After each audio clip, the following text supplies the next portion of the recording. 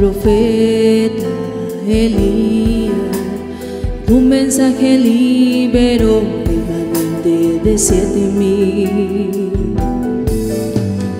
Es la quinta vez que Dios enviará al profeta Elías, serán liberados ciento cuarenta y cuatro mil.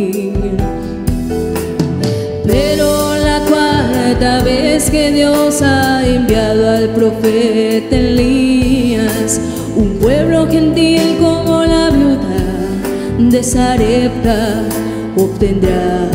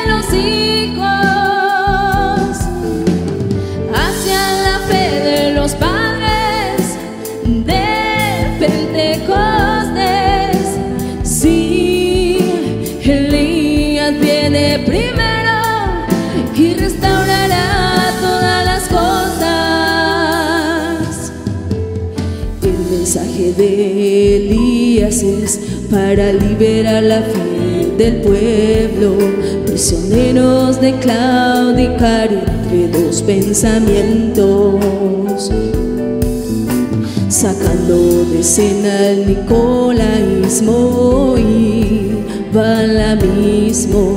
Y después de la gran sequía por causa de Acab y Jezabel, traer de regreso lluvia temprana y lluvia tardía. Y mi pueblo nunca jamás será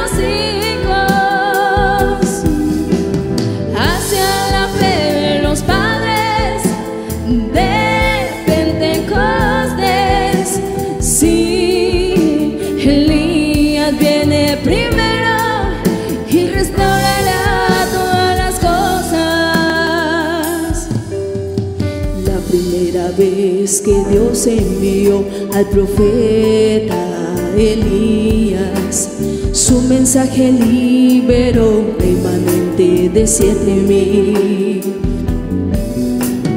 Es la quinta vez que Dios enviará al profeta Elías, serán liberados ciento cuarenta y cuatro mil. Cuarta vez que Dios ha enviado al profeta Elías, un pueblo gentil como la viuda de Sarepta obtendrá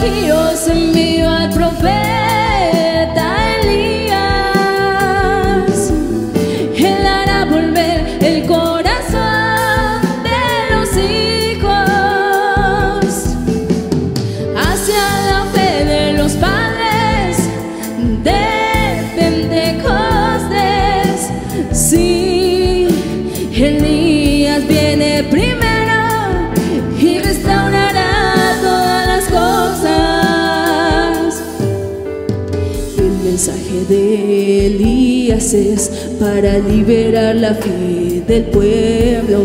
Prisioneros de claudicar entre dos pensamientos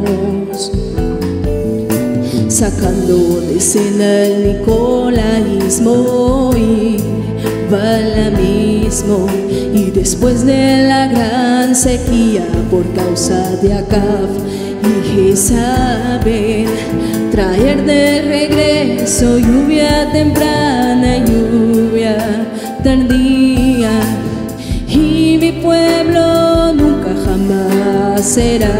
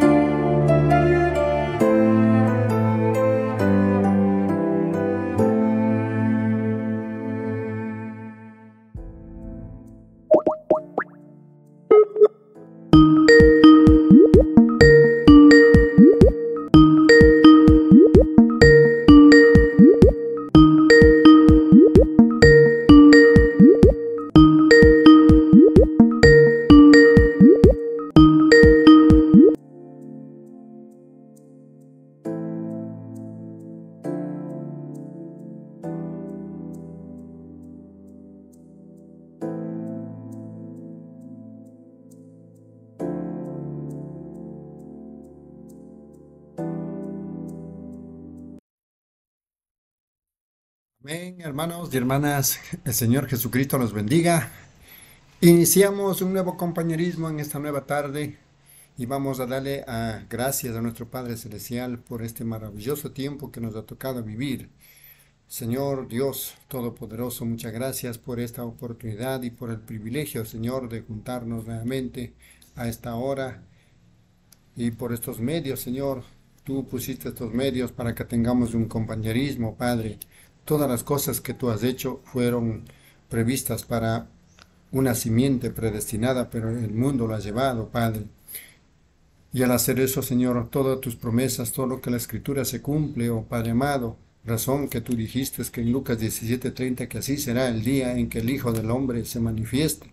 Oh Padre, este Señor vino un, con un mensaje glorioso.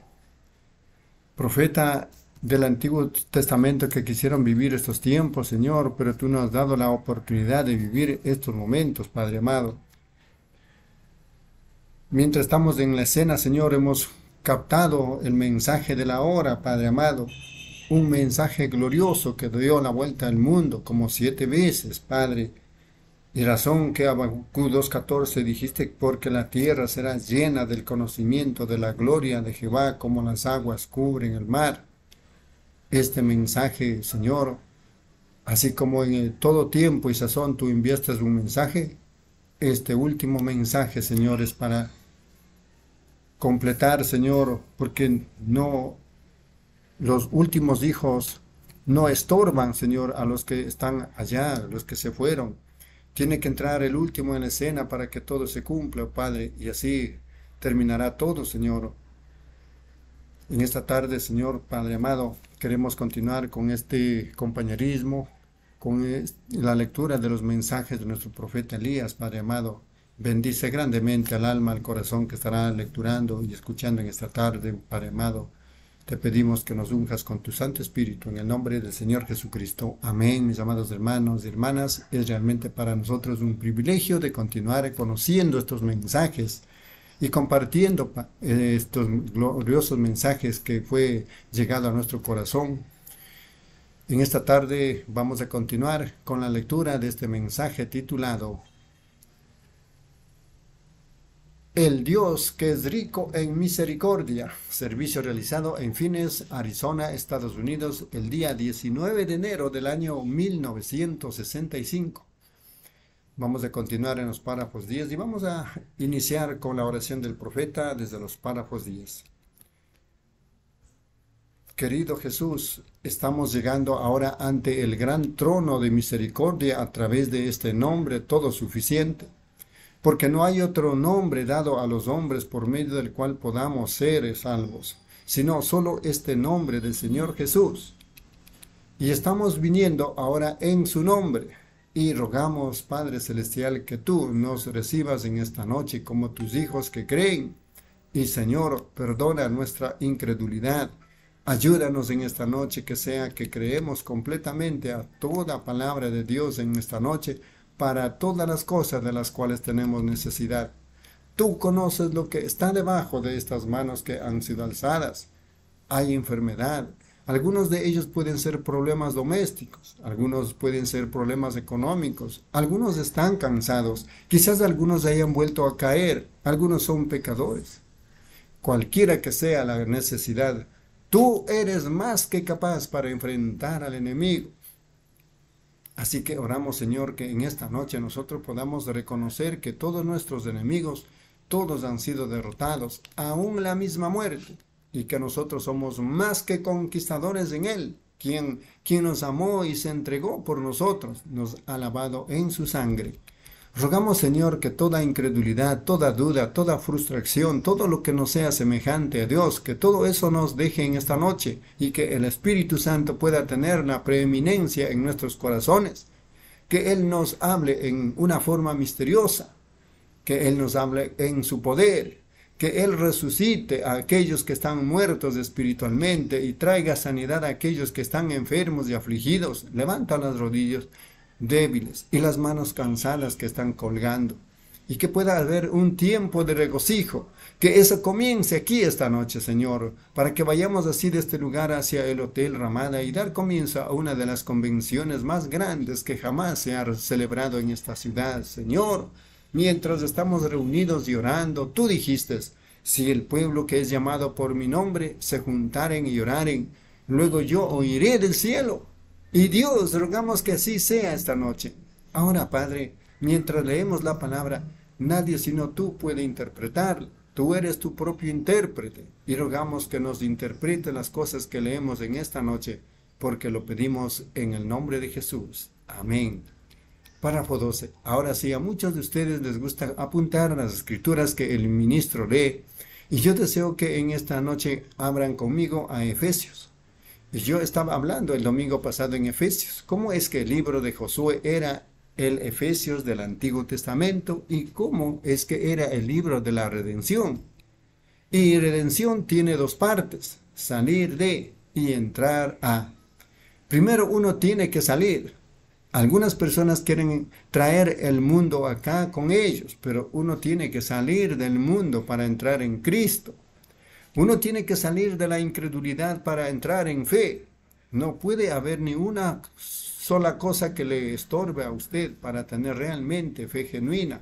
Uno tiene que dejar atrás absolutamente todo lo que es contrario a la palabra de Dios para entrar en fe. Entonces ese fue el libro de Efesios del Antiguo Testamento, Josué, donde Moisés representó la ley y no podía salvar a nadie, pero la gracia sí podía. Y aquí Josué es la misma palabra que Jesús. Jehová Salvador. Y ahora hallamos que tenemos que llegar a otro Efesios, a otro Éfeso ahora, donde es que en nuestras denominaciones intelectuales y tanta cosa, y todos nuestros programas educacionales, todo ha llegado a su, su Jordán. Entonces debemos tener nuevamente un, un Efesios. Debemos tener un éxodo para salir de y para entrar a, para el rapto. Párrafo 13. Ahora, en esta noche vamos a leer del segundo capítulo de Efesios. Yo estaba diciendo eso eh, solamente para que pudiesen dar eh, con el lugar o abrir al capítulo. Y Él os dio vida a vosotros cuando estabais muertos en vuestros delitos y pecados, en los cuales anduvisteis en otro tiempo, siguiendo la corriente de este mundo, conforme al príncipe de la potestad del aire el espíritu que ahora opera en los hijos de desobediencia, entre los cuales también todos nosotros vivimos en otro tiempo en los deseos de nuestra carne, haciendo la voluntad de la carne y de los pensamientos, y éramos por naturaleza hijos de ira, lo mismo que los demás. Pero Dios, que es rico en misericordia, por su gran amor con que nos amó, aún estamos estando nosotros muertos en pecados, juntamente con Él, nos dio vida a Cristo. Por gracia sois salvos. Deseo tomar un poco o parte del versículo, pero Dios, el Dios que es rico en misericordia. Párrafo 14. Quiero que se fijen en el profeta, o más bien el apóstol, Pablo, quien, quien eh, como él mencionó esto, que, y él os dio vida a vosotros, cuando estabais muertos. Él os dio vida a vosotros cuando estabais muertos, muertos en vuestros delitos y pecados, andando tras las cosas del mundo, el deseo de la carne y cumpliendo, los deseos de la mente. Ah, ¿Ve usted qué ha causado este cambio? ¿Y qué lo causó que, estando en un tiempo muerto, ahora estuviera vivificado Vivificar quiere decir dar vida. Hubo un cambio de, muerte a vida. No hay ninguna, no hay ninguna otra cosa que le pudiera suceder a una persona tan grande como ser cambiado de muerte a vida. Un hombre, si él está muriendo físicamente y pudiera ser físicamente sanado físicamente, eso sería una gran cosa. Pero no hay nada tan grande como cuando él está muerto espiritualmente y Dios lo ha vivificado a vida. Párrafo 15. Estabais en tiempo pasado muertos. Estaban muertos. Aún muchos aquí en esta noche en un tiempo pueden mirar atrás y saber que estaban muertos. Pero ahora, ¿por qué no están muertos en esta noche como estaban entonces? Usted merece estar así por cuando usted era pecador. Pero Dios, que es rico en misericordia, esa es, esa es la cosa. Dios es Dios que es rico. Todas estas otras cosas que éramos, pero Dios, eso allí mismo hizo la diferencia. Dios que es rico en misericordia. O yo estoy tan contento por eso, que Él, siendo rico en misericordia, y Él fuera solamente rico en dinero, si Él fuera solamente rico en cosas materiales, lo cual Él es, sin embargo, la cosa más grande que, más grande es ser rico en misericordia. Oh, qué gran palabra es esa. ¿Cómo es que estábamos en un tiempo muertos? Párrafo 16. Y estábamos hablando la otra noche acerca de cómo es que la simiente tiene que morir. Y todo alrededor de ese germen de vida tiene que no solamente morir, pero podrirse. Si no se pudre, no puede vivir. Y podrir es completamente aniquilado, terminado. Y solo cuando nosotros podamos llegar al lugar en que todas nuestras ideas y nuestro pensamiento pueden completamente aniquilados y se pudra y esté lejos de nosotros, entonces es cuando el germen de vida puede comenzar a vivir. Ahora, ahora quizás, quizás yo pueda inyectar un poquito de doctrina aquí, pero no, si usted no lo cree, muy bien, eso está bien. Yo sí lo creo. Yo creo que un hombre, cuando él es nacido en este mundo, que cuando usted es un bebé nacido en este mundo, usted no podría haber estado aquí sin que primero fuera del previo conocimiento de Dios, porque Él es infinito y Él conoce las cosas. Y cuando ese bebé es nacido en el mundo, hay algo en ese bebé. Si Él va a tener vida alguna vez, entonces hay algo en Él, en ese niño, o la cual, o lo cual Él llega tarde o temprano. Esa pequeña simiente está en él. Ahora, si usted toma las escrituras, claramente declaran eso. Párrafo 17. Ahora, si usted tiene vida eterna en esta noche, si nosotros tenemos vida eterna, entonces siempre éramos, porque hay una sola forma de vida eterna. Siempre éramos, y la razón que siempre éramos es porque somos una parte de Dios. Y Dios es lo único que es eterno. Y como Melquisedec recibió el diezmo de Abraham y eso le fue atribuido a su bisnieto Leví, el cual todavía estaba en los lomos de Abraham, pagó diezmos por cuanto él todavía estaba en los lomos de Abraham cuando se encontró con Melquisedec. Yo quiero hablar sobre eso allá en el otro lugar alguna mañana. ¿Quién es este Melquisedec? Ahora noten eso allá lejos. Dios sabía que este muchacho venía. Él conocía todas las cosas. Ahora nosotros somos parte de Dios. Usted siempre era. Usted no se acuerda por cuanto usted solamente era un atributo en Dios. Y usted solamente estaba en su pensamiento. Su mismo nombre, si alguna vez estaba en el libro de la vida, por, fue puesto allí antes de la fundación del mundo. Él sabía lo que usted era. Párrafo 18. Yo solamente estoy diciendo esto, no para enredar en la doctrina, sino para enderezarla, para que así nos podamos apartar de este temor y pánico. Lo que pasa es que no saben quiénes son. No es que van a llegar a ser, sino que ya son ahora mismo los hijos de Dios. Ven, siempre eran los hijos de Dios. Ven, porque cuando Dios lo tenía usted en su pensamiento allá en el principio, usted tenía que ser alguna parte de usted, la vida que está en usted. Ahora, tenía que estar con Dios allá antes de eso. Bien, cuando Él, antes que usted llegara a materializarse aquí en la tierra, cuando no había nada sino Dios, usted era uno de sus atributos. Él ya sabía cuál sería su nombre. Él ya sabía el color de su cabello. Él sabía todo en cuanto a usted. La única cosa que sucedió es que cuando usted siendo un pecador, muchos de ustedes pueden tener compañerismo conmigo en este pensamiento. Cuando usted era un muchachito o una muchachita, usted iba por aquí y por allá y habían ciertas cosas que simplemente, cuando no molestaban a los otros muchachitos, parecía que había algo en usted que clamaba. Había Dios en alguna parte. Sin embargo, usted era un pecador. ¿Se acuerdan de eso? La congregación dice amén. Ciertamente.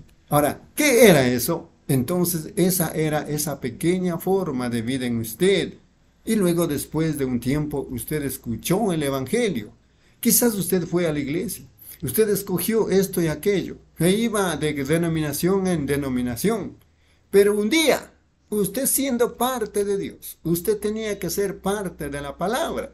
Y cuando usted escuchó la palabra, usted se dio cuenta de dónde es que venía.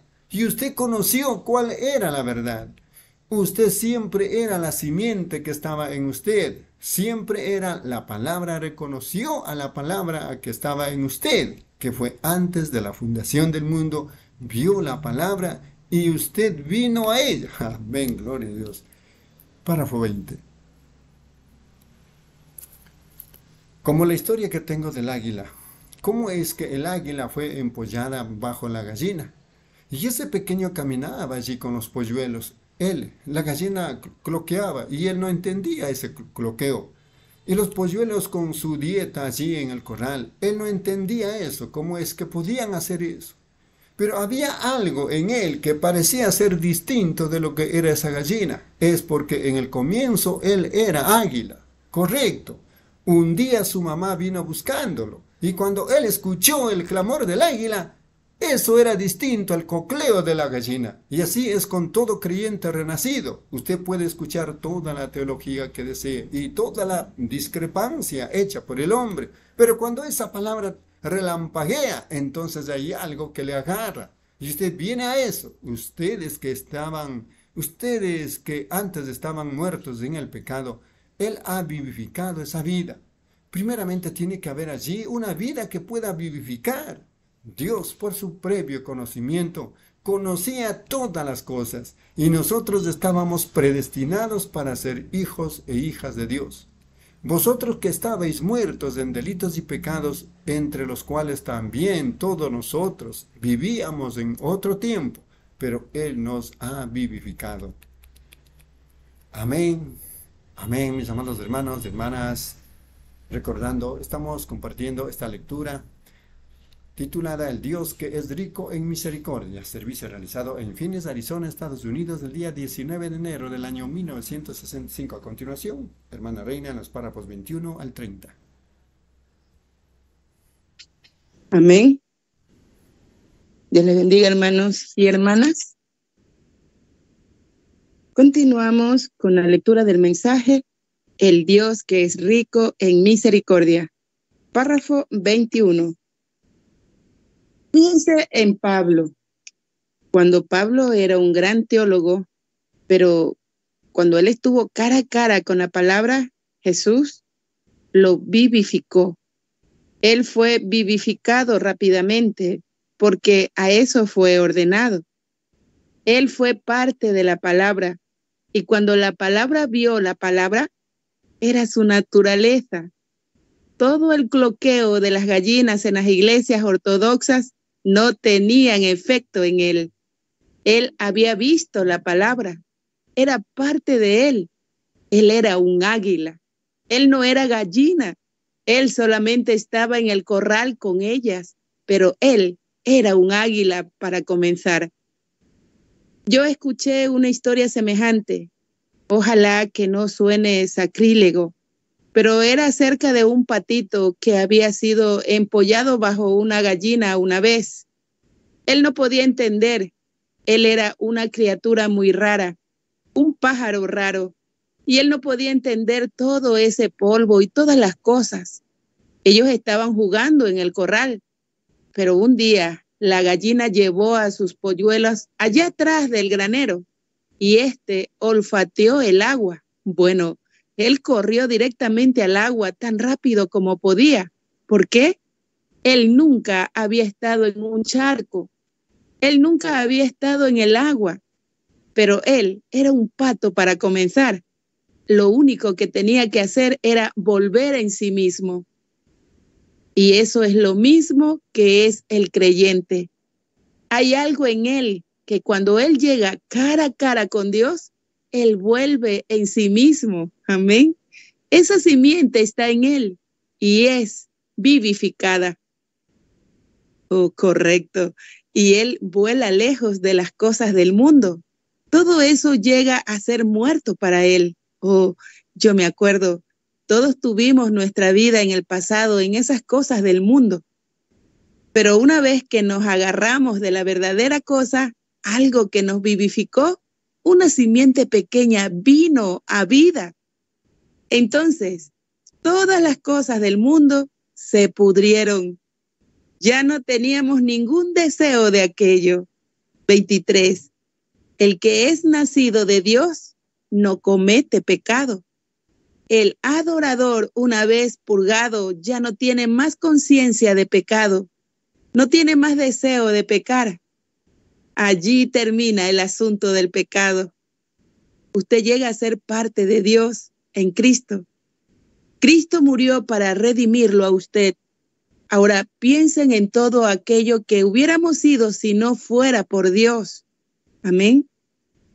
Pero Dios en su rica misericordia, como nos ha redimido en esta noche, ¿a dónde estaríamos en esta noche si no fuera por la rica misericordia de Dios sobre nosotros?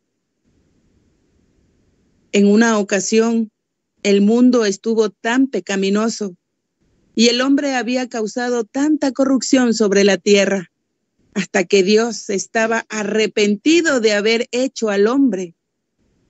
Toda la cabeza era una llaga podrida, todo el cuerpo entero, y Dios estaba arrepentido de haber hecho al hombre. Entonces él dijo, yo destruiré al hombre que he creado él los destruirá porque no tienen más que un montón de corrupción. Y toda la raza humana hubiera sido aniquilada en aquel tiempo. Pero Dios, rico en misericordia, no podía permitir al inocente perecer junto con el culpable.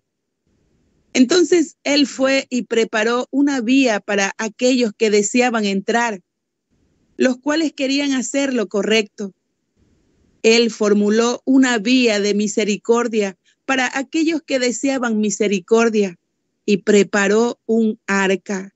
Amén. En otras palabras, Él les puso alas a sus águilas y ellos entonces podían volar sobre el juicio y no ahogarse con las gallinas. Pero Él, Él preparó una vía de escape en los días de Noé. Esto le causó a Él que lo hiciera porque él era rico en misericordia. 24. Pero después que él ha provisto una vía para el pueblo y luego ellos lo rechazan. Ahora, la razón por la que lo rechazan es que en ellos no hay nada para recibirlo. No hay nada para recibirlo. Mi mamá antes decía, al nabo no se le puede sacar sangre, porque no hay sangre en, en el nabo. Así que si no existe allí una forma de vida para recibirlo, entonces no puede ser recibido. Por eso fue que los fariseos podían mirar directamente en la cara de Jesús y llamarlo Belcebú, porque en ellos no había nada con qué recibirlo. Pero todo cuanto el Padre me ha dado, dijo él, vendrá a mí. Hay, hay alguna manera en que será presentado uno en alguna ocasión puede hablarle a la gente en la calle acerca del Señor y ellos se ríen en su cara. Bueno, de todas maneras debemos hacer eso. Pero escuchen, ningún hombre puede venir a mí sin que primero mi Padre le traiga. Dios tiene que obrar en ellos, tiene que haber una vida. Todos los que el Padre me ha dado vendrán a mí él ha provisto para los que desean ser redimidos. Él ha provisto para aquellos que sean ser sanados. Y entonces, por cuanto Él ha hecho esto, eso lo hace rico en misericordia, como siempre Él ha sido rico en misericordia. Amén. Tiene que ser. Si usted rechaza esto, no le queda nada sino el juicio, por cuanto el pecado tiene que ser juzgado. Cuando Faraón entró al, al mar como un personificador, viendo que podía entrar como hizo Moisés, Moisés con su ejército y Faraón con su ejército, parecía que ambos debían haber perecido en el mar. Pero Dios, rico en misericordia, preparó una vía de escape para los hebreos. ¿Por qué? Porque ellos estaban siguiendo directamente en la línea del deber. Ellos estaban siguiendo en la palabra. Ahora, esa es la única forma de obtener misericordia. Eso es seguir las instrucciones que Dios nos ha dado a seguir. Y esa es la única forma en que Él puede mostrar misericordia. Y eso es cuando nosotros seguimos lo que Él nos ha dicho que hagamos. Amén. Como el pequeño debate no hace mucho que tuve con un ministro que dijo que yo estaba enseñando una doctrina apostólica en este día. Yo creo que hablé de eso hace una noche o dos, o en algún tiempo, de cómo él dijo, usted está tratando de inyectar en esta edad una doctrina apostólica. Él dijo, la edad apostólica cesó con los apóstoles. Y yo le pregunté, bueno, ¿cree usted la palabra? Él dijo, sí. Yo dije, Apocalipsis 22, 18 dice que quien sea que quitare una palabra de esto o que le añadiere una palabra, no dos palabras, una palabra, que le saque una sola palabra. Dijo, yo creo eso. Yo dije, bien, yo le puedo decir cuándo fue que la edad apostólica fue introducida, cuándo las bendiciones apostólicas fueron dadas a la iglesia. Ahora, usted dígame, ¿Cuándo fue que Dios quitó eso de la iglesia por la palabra? Usted no lo puede hacer porque no está allí. Yo dije, ahora recuerde que Pedro, en el día de Pentecostés, él fue el, el que introdujo la edad apostólica.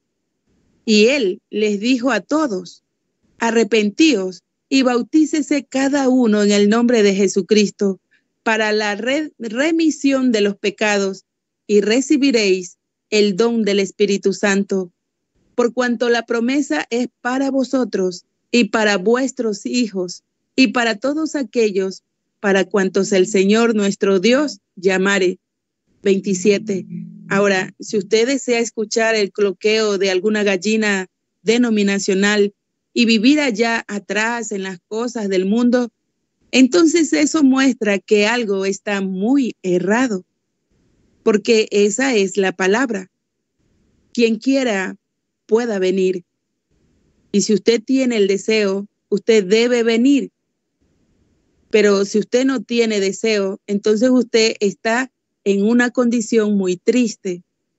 Pero si usted tiene el deseo de venir, venga y siga la fórmula de Dios y Él nunca falla en cumplir lo que Él prometió.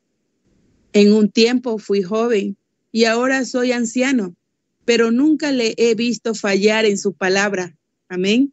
Porque Él puede hacer todo, menos fallar. Él no puede fallar. Dios no puede. Es imposible que Dios falle y permanecer Dios. Así tiene que ser para hacer eso. 28. Ahora, el ejército de Faraón trató de personificar, porque no eran llamados y no tenían esa vida. La promesa no fue para Faraón. La promesa no le fue dada a él para la tierra prometida. Y un personificador tratando de seguir el genuino creyente que es llamado para tales cosas, él solo hace una burla del asunto. Y eso es lo que pasa con nuestro sistema religioso de hoy en día.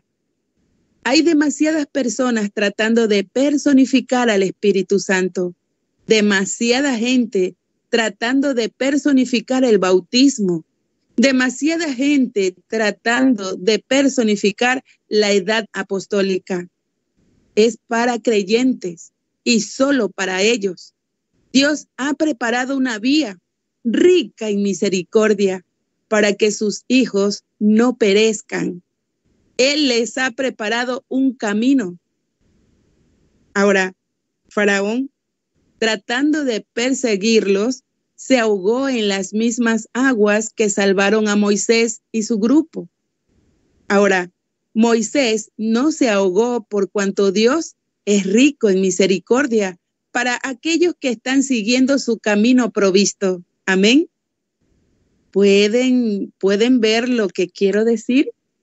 Eso es que en esta noche la gente que no cree en sanidad divina, la gente que no cree en el bautismo del Espíritu Santo, ¿cómo pueden recibir alguna cosa?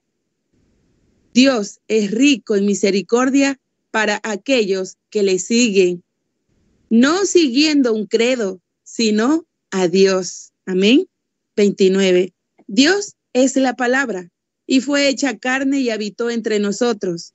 Ahora, para que Él pueda traer los otros atributos de Dios, el cuerpo, Jesús fue cuerpo de Dios, un atributo. Moisés le vio pasar y vio la parte posterior de él.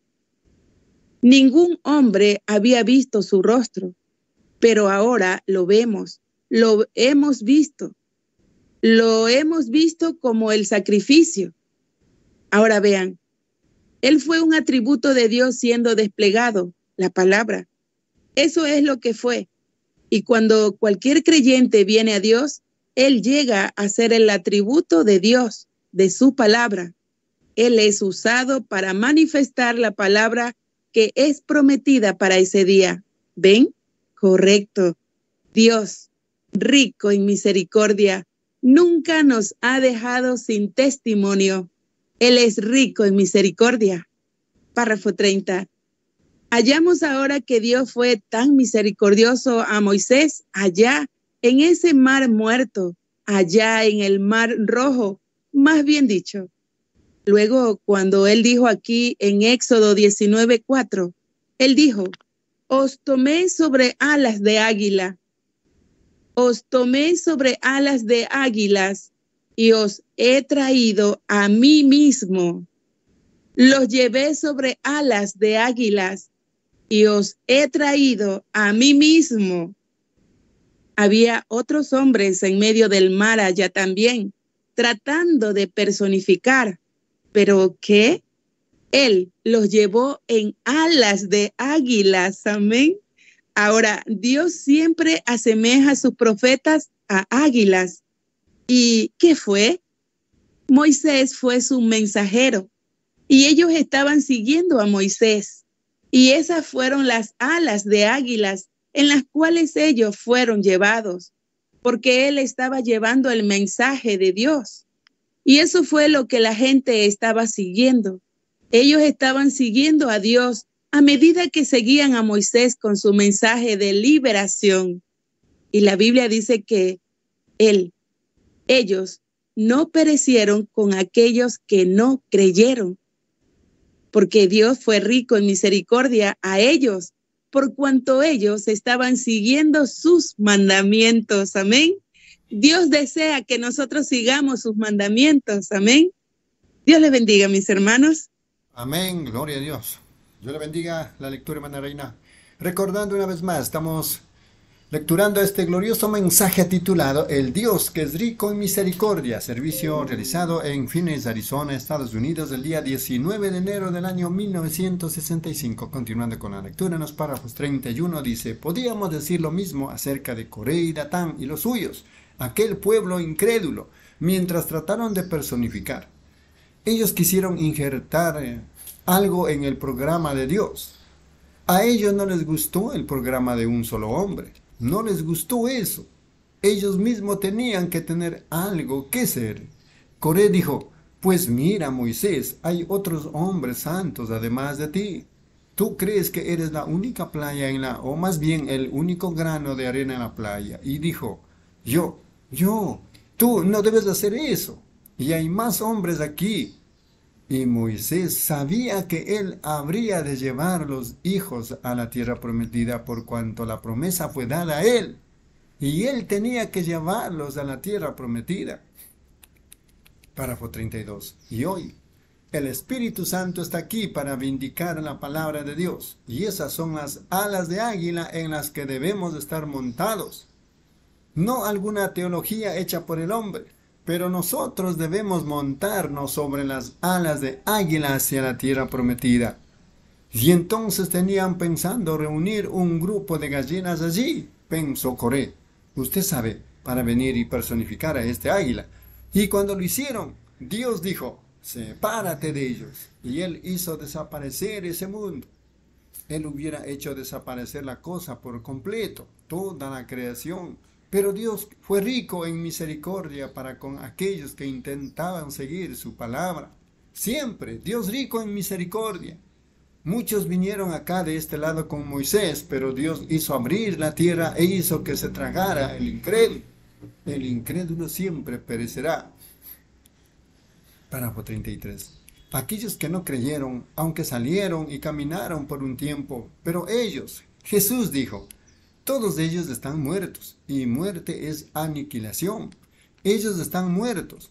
Piensen en ellos. Salieron, vieron las maravillas de Dios, vieron la gran mano de Dios, se gozaron con el maná y cuando estuvieron allá le pusieron atención a un hombre llamado Balán, quien pervirtió el camino de Dios por sus enseñanzas contrarias a, las a la palabra. Perdón.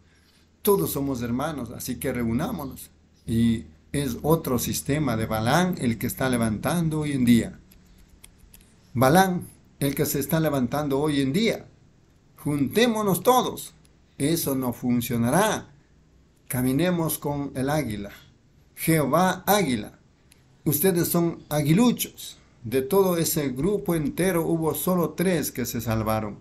Moisés, Caleb y Josué. Los demás perecieron en el desierto. Jesús así lo dijo en San Juan capítulo 6, Dios en misericordia no les dejaría perecer con los demás incrédulos.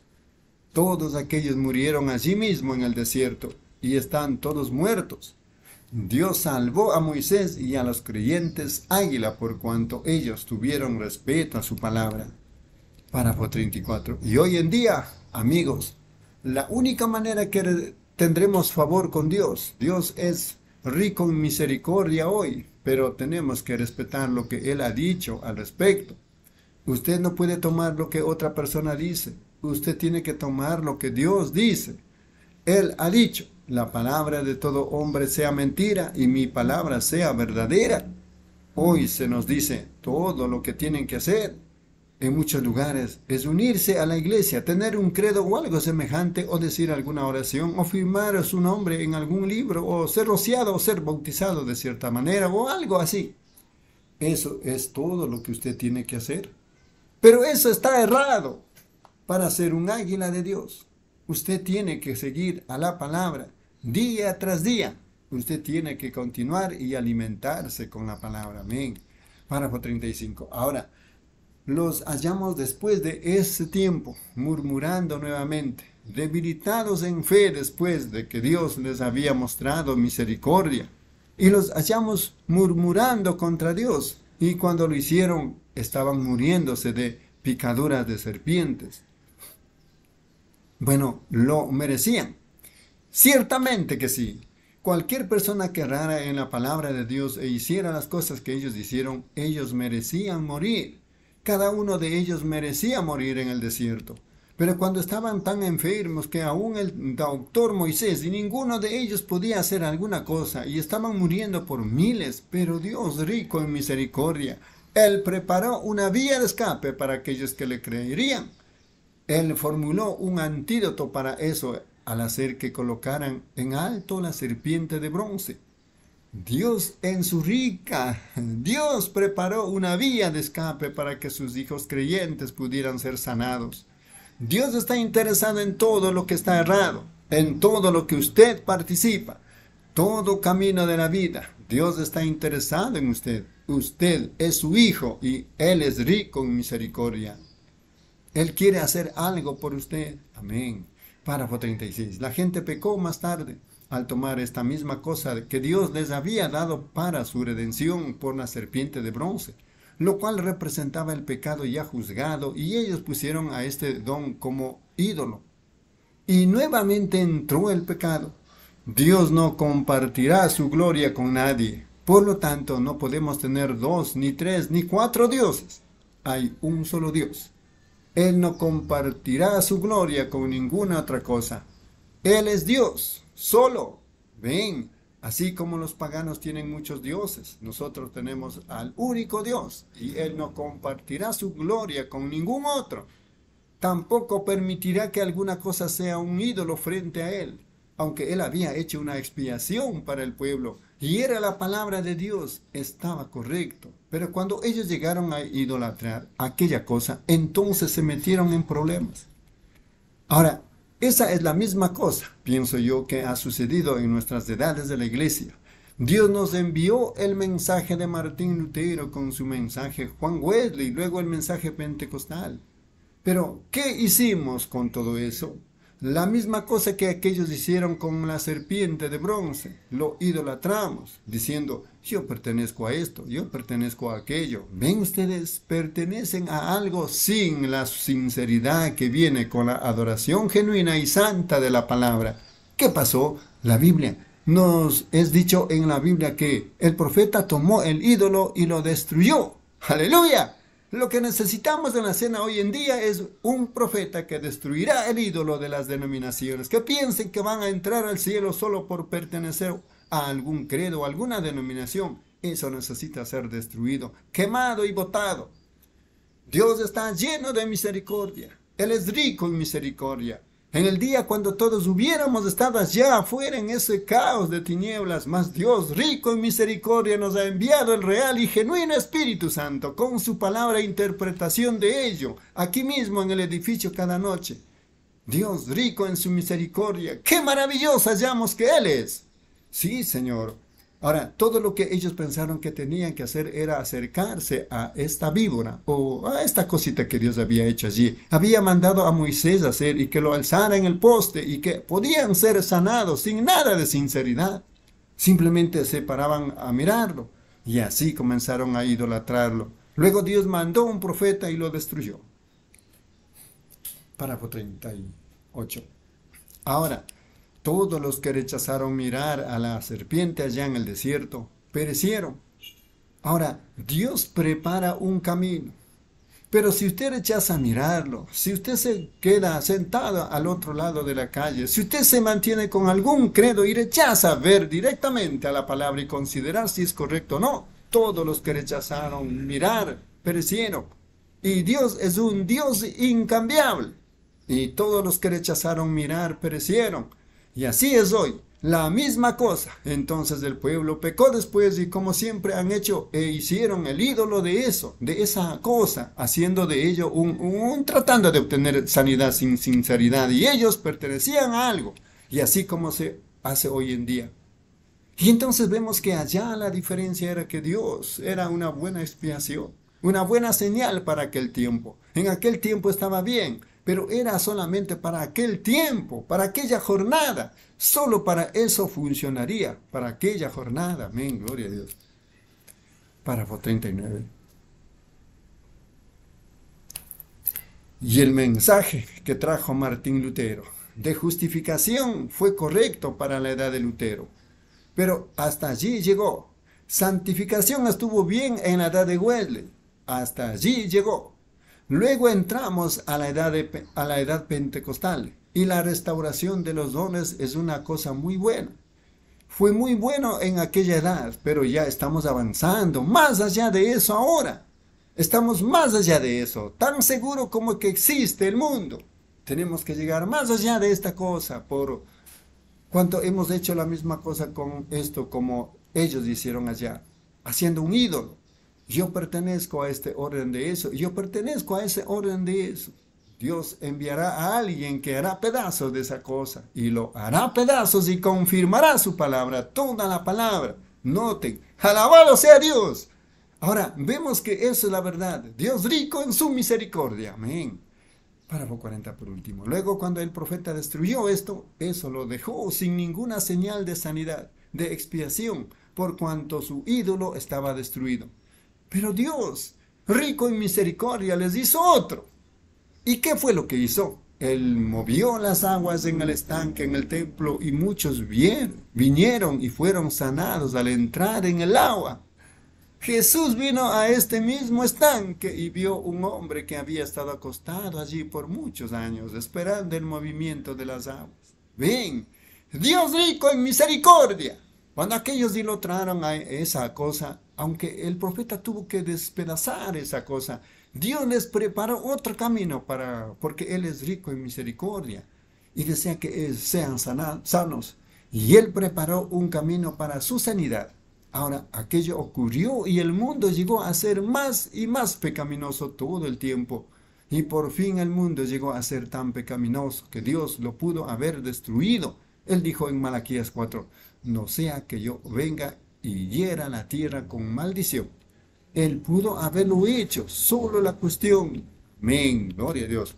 Amén, mis amados hermanos y hermanas, es realmente un privilegio para todos nosotros el lecturar y tener compañerismo con este mensaje de la hora. Estamos lecturando en esta tarde este mensaje titulado El Dios que es rico en misericordia, servicio realizado en Phoenix, Arizona, Estados Unidos, el día 19 de enero del año 1965. A continuación, hermana Reina, los párrafos 41 al 50. Amén. Dios les bendiga, mis hermanos. Continuamos con la lectura del mensaje El Dios que es rico en misericordia, párrafo 41. Pero luego, Dios rico en misericordia, Él envió un Salvador, Jesucristo. Él envió a Jesús para ser Salvador y sanador, por cuanto dijo, así como Moisés levantó la serpiente de bronce en el desierto, así también el Hijo del Hombre debe ser levantado para el mismo propósito. El, la expiación. Sobre eso es que tenemos derecho. Nada sino la expiación. Lo que Jesús compró con su sangre. Sobre eso es que tenemos derecho. Y la Biblia dice, mas el herido fue por nuestras rebeliones, molido por nuestros pecados. El castigo de nuestra paz fue sobre él y por su llaga fuimos nosotros curados. Eso es lo que nosotros podemos reclamar por cuanto eso es lo que es la expiación por la cual estamos parados. Mandó para nosotros. Dios rico en misericordia. Esta habría de ser una expiación eterna, porque él, él mismo vino Dios mismo vino en la forma de carne pecaminosa para proveer una expiación eterna. Y Él sufrió en la carne e hizo la expiación. Luego volvió nuevamente en la forma del Espíritu Santo para confirmar la expiación. Cuando ni la serpiente de bronce ni el agua movida podía hacer esto todo enfocaba en aquella expiación perfecta. Dios, rico en su misericordia, ha hecho esto. Amén.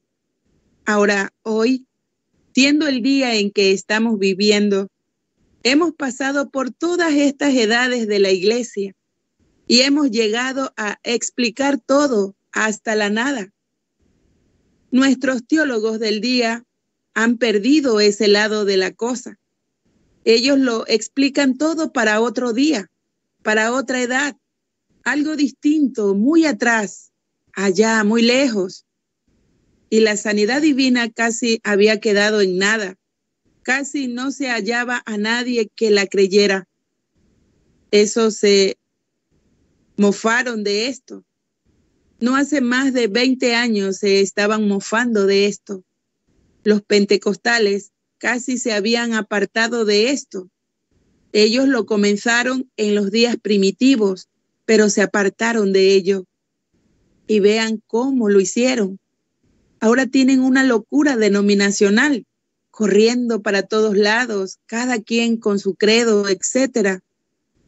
Pero en vez de aceptar la luz, cuando la luz viene, ellos se organizaron y se formaron credos, cada uno dando sus vueltas y haciéndose un credo, una doctrina y manteniéndose en esa doctrina. Y luego le quitaron tantas cosas hasta que el Espíritu Santo no podía entrar ya en la iglesia. Llegaron a ser simplemente otro ídolo, como la serpiente de bronce. Llegó a ser una idolatría. Cada persona dijo, yo pertenezco a esto y yo pertenezco a aquello. Fue una idolatría. ¿En qué enredo, enredo estamos en el tiempo del fin? Repito, ¿en qué enredo estábamos en el tiempo del fin? Pero Dios, rico en su misericordia, ha enviado nuevamente el Espíritu Santo sobre nosotros y está vindicando su palabra en esta noche como prometió que haría. Dios prometió que haría estas cosas. ¿Ven lo que Él hizo? Vean lo que Él hizo. ¿Cómo es que ahora podemos ver que Él prometió que ciertas cosas sucederían en cada edad? Y hallamos que sucedió exactamente como Él dijo que haría, por cuanto Él es rico en su misericordia, para siempre tener misericordia, para cumplir toda palabra que Él ha prometido. Él tiene que hacerlo y siempre para permanecer Dios. Él siempre hace esto. Su palabra siempre se cumple en su tiempo. Su simiente que Él sembró en la tierra. ¿Qué hizo? Él la colocó aquí, en la palabra. Y esa es, una simiente. Y cada vez que la edad llega, esa simiente se madura y luego llega una reforma. Y Él lo prometió y así sucede. Ahora, nosotros no merecíamos estas cosas. Nosotros no merecíamos las bendiciones de Dios porque nosotros habíamos salido tras las cosas del mundo. Habíamos entrado en el error de Caín.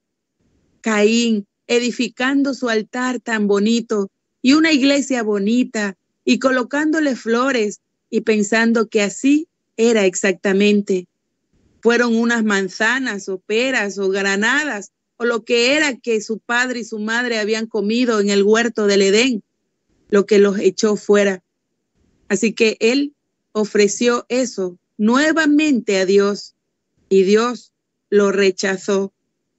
Pero Abel, por fe, ofreció a Dios un sacrificio más excelente que el de Caín.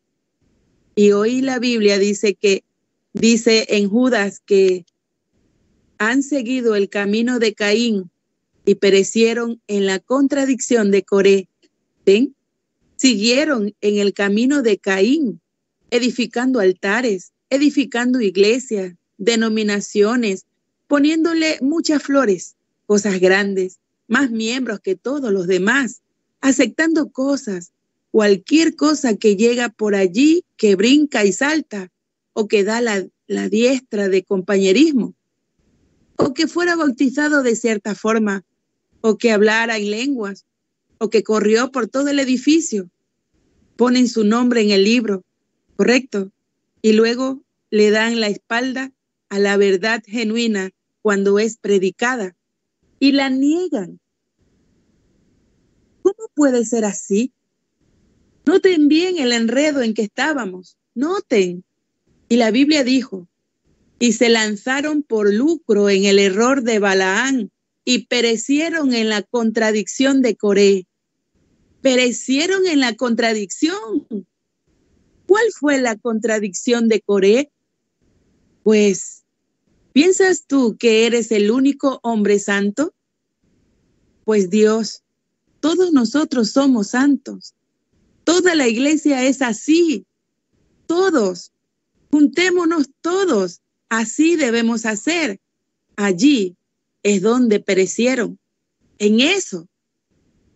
Y nosotros verdaderamente lo merecíamos. Merecíamos ser aquello. Pero Dios, rico en misericordia, nos ha sacado de todo ese caos y nos ha permitido ver la cosa antes de que llegue. Amén. Rico en misericordia y nos ha enviado nuevamente un avivamiento de sanidad divina y el derramamiento nuevamente del poder de Dios. Según la historia, ningún avivamiento ha durado más de tres años. Este avivamiento ya lleva 15 años. Ha estado encendido fuegos alrededor y alrededor del mundo. ¿Por qué? ¿Porque lo merecemos? Dios, rico en su misericordia, no porque nosotros así lo deseábamos, o más bien dicho, porque así lo merecíamos. Solo piensen en lo que ha hecho. 45. Yo pienso en una de sus propias hermanas aquí en Phoenix, la cual muchos de ustedes conocen, la señora Hattie Waldrop. Ella tenía cáncer del corazón y ella estaba en la línea de oración aquí cuando yo y el hermano Murray estábamos aquí la primera vez, hace como 15 o 18 años. Y ella se estaba muriendo de cáncer del corazón. Y ella debía haber muerto hace mucho tiempo. Pero Dios, rico en misericordia, envió su poder sobre ella y Él salvó su vida y ella vive hoy. Dios rico en misericordia. El congresista Ushau, un hombre importante, pienso que él fue presidente o algo de los, de los bautistas, de la convención de los bautistas del sur en un tiempo, o vicepresidente o algo. Él había hecho todo.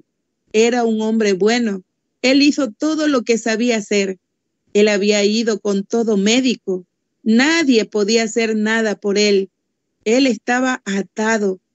Ministros habían orado por él y sobre él habían vaciado cuando menos un galón de aceite, ungiéndolo por diferentes ministros en todas partes. Y una noche, en Los Ángeles, California, cuando llegaba yo al púlpito, observé las sillas de ruedas como dos o tres veces más que las que están aquí esta noche, que estaban por todos los pasillos, para arriba y para abajo. Y así a un lado había una camilla y en ella una niñita negra y su, su mamá estaba sentada allí a su lado. Y mi hermano estaba preparando la línea de oración y yo estaba observando, no sabiendo lo que estaba pasando y vi a un doctor con lentes con marcos de Carey operando en una niñita negra de una condición de la garganta y ella fue paralizada. Y miré por allí y pensé, ¿dónde está esa niña? Yo no la podía ver. Después de un rato, allá muy abajo, sin esperanza, una bella niñita como de siete u ocho años y que tuviera que permanecer paralizada toda su vida. Y allí estaba su mamá arrodillada, orando. Entonces yo dije, este médico operó en su niñita y les describí cómo era. Ella dijo, eso es correcto, señor.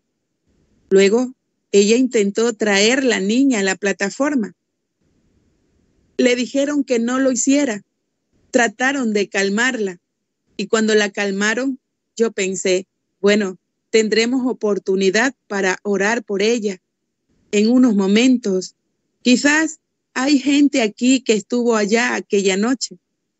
Y yo estaba mirando a través de la audiencia y vi esa niña caminando por lo que parecía ser un caminito angosto, con su muñeca en sus brazos, meciendo la muñeca. No importaba qué tanto decía el médico que ella iba a permanecer paralizada toda su vida. Dios, rico en misericordia, envió el Espíritu Santo por una visión. Y esa niña se levantó de allí, y ella y su mamá se tomaron de las manos y caminaron por el pasillo, alabando a Dios. 47. Allá, muy atrás, estaba sentado un hombre anciano el congresista Ushau Muchos de ustedes conocen su testimonio. Él había sido un hombre bueno, lo intentó toda su vida. Tenía 66 años siendo un inválido en una silla de ruedas. Lo tenían que acostar. Traía muletas debajo de los brazos con los cuales caminaba y jamás iba a poder caminar normalmente. Y allí estaba él sentado, mirando esa situación.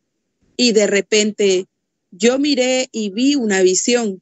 Allí venía él, caminando por encima de toda esa congregación, con la cabeza inclinada, y podía caminar tan correctamente como cualquiera. Yo no sabía quién era ese hombre. Yo dije, hay un hombre importante sentado allá atrás. Él se cayó de una carreta cuando era un niñito y se cayó en el armazón de la carreta y se lastimó la espalda. Perforaron el piso de la casa para evitar que la vibración cuando la gente caminara que no le llegara a la espalda. Yo dije, él ha llegado a ser un hombre importante y continúa haciéndose más importante. Él está sentado en un gran círculo en la Casa Blanca. Luego, este hombre llegó a donde yo estaba y me dijo, ese es el congresista Ushau. ¿Ha oído usted de él? Yo dije, jamás he oído de él. Entonces corrieron una extensión del micrófono allá y comenzaron a hablar con él. 48. Luego yo comencé a mirar por todos lados y vi al anciano congresista que venía caminando hacia mí en una visión, tan perfectamente normal como podía ser. Dios rico en misericordia lo sacó de esa silla de ruedas y él caminó sin muletas hasta el día que murió. Dios rico en misericordia. Cuando los doctores habían fallado, cuando la ciencia había fallado, cuando todo lo demás había fallado, Dios fue rico en misericordia con el congresista Uchau. Yo pienso en mí mismo cuando era un muchachito me acuerdo que la gente hoy me dice odiador de mujeres. La razón de eso es porque yo vi tanta inmoralidad en las mujeres cuando yo era niño. Yo las odiaba. Y no hago eso ahora porque sé que sí hay unas genuinas. Pero me acuerdo de cómo era ya tan malvado, tan inmoral. Y pensé, oh, yo nunca estaré donde hay gente. Yo no tengo educación así que no la buscaré. Y era un niñito sentado allí, ni tenía camisa, ni tenía este abrigo abrochado así, de esta manera, con un seguro. Y hacía calor.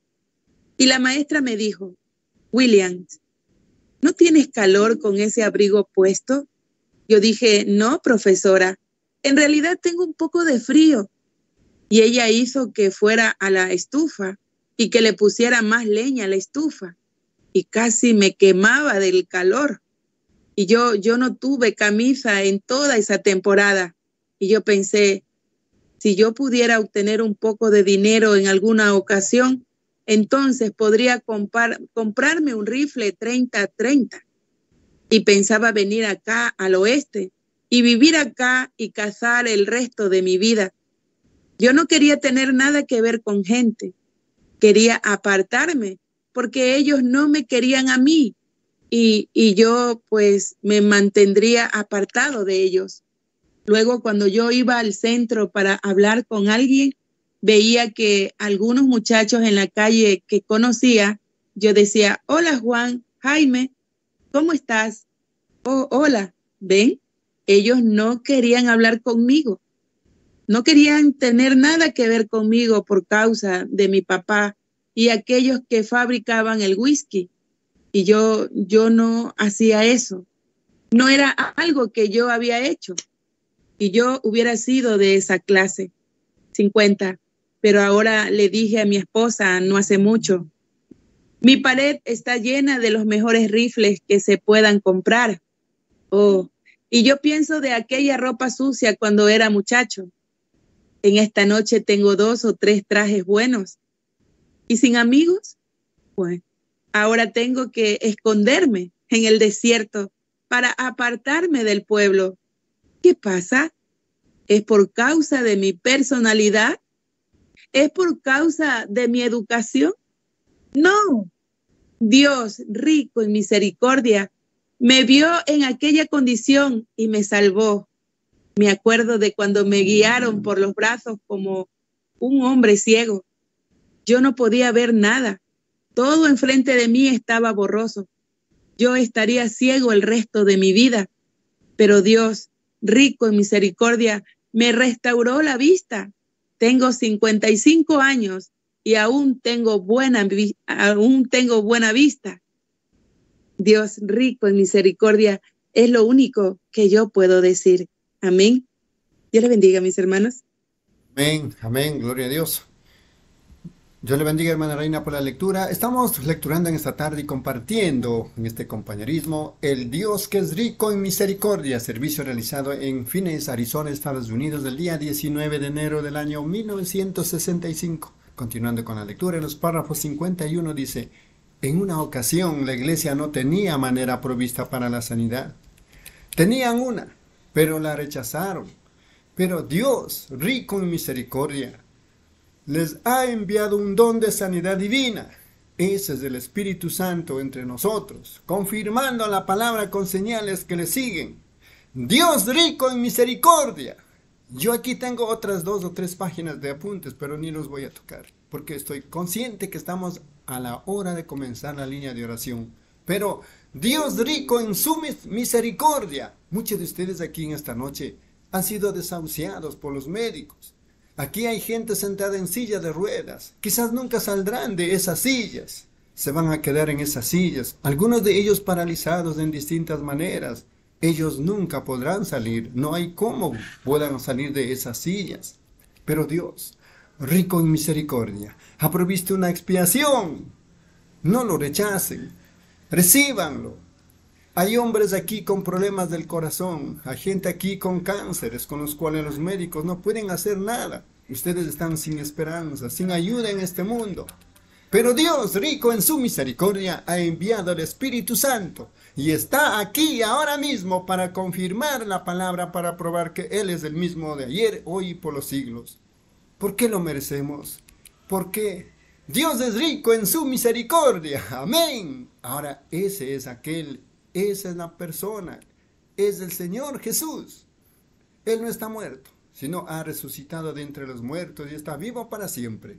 Él es el mismo ayer, hoy y por los siglos, y es igual de rico en su misericordia como fue para con la mujer que tenía el flujo de sangre. Y ella comenzó a abrir camino a través de esa multitud. Pero ella no había esperanza.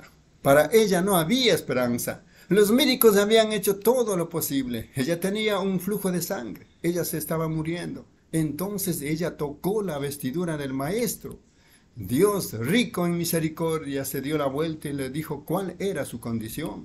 Y ella fue sana del flujo de sangre. Un día una prostituta vaciada fue a un pozo para sacar agua. No tenía esperanza. Ella había sido excomulgada de entre las vírgenes y, y de todo el pueblo. Su vida no servía para nada. Y ella pensaba, ¿de qué sirve hacer el esfuerzo? He sido echada a la calle. Para mí ya no hay nada.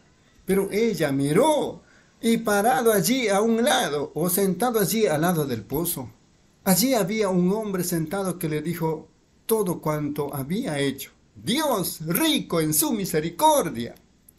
Ese mismo Dios esta noche es igual de rico en su misericordia y es el mismo que era en aquellos días. Dios rico. Párrafo 53. Creo que tenemos como 200 tarjetas de oración repartidas, a lo cual a lo que hemos llamado de las 200. Los vamos a llamar para que la gente se ponga en línea. Vamos a orar por ellos. Pero antes de hacer eso, quizás hubiera algunos nuevos entre nosotros y para apartarnos de todas las supersticiones. Esto no es superstición, es más bien la manifestación de la promesa de Dios. Depende qué usted está mirando. No hay virtud en ningún hombre, no hay poder en ningún hombre, pero nosotros, como creyentes, tenemos autoridad no poder, sino autoridad.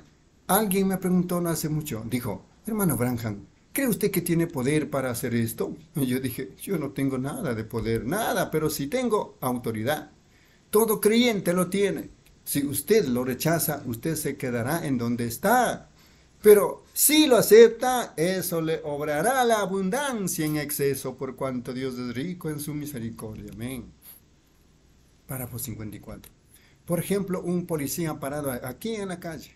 Su ropa le queda grande por cuanto él es tan flaquito. El gorro le queda, lo tiene por las orejas.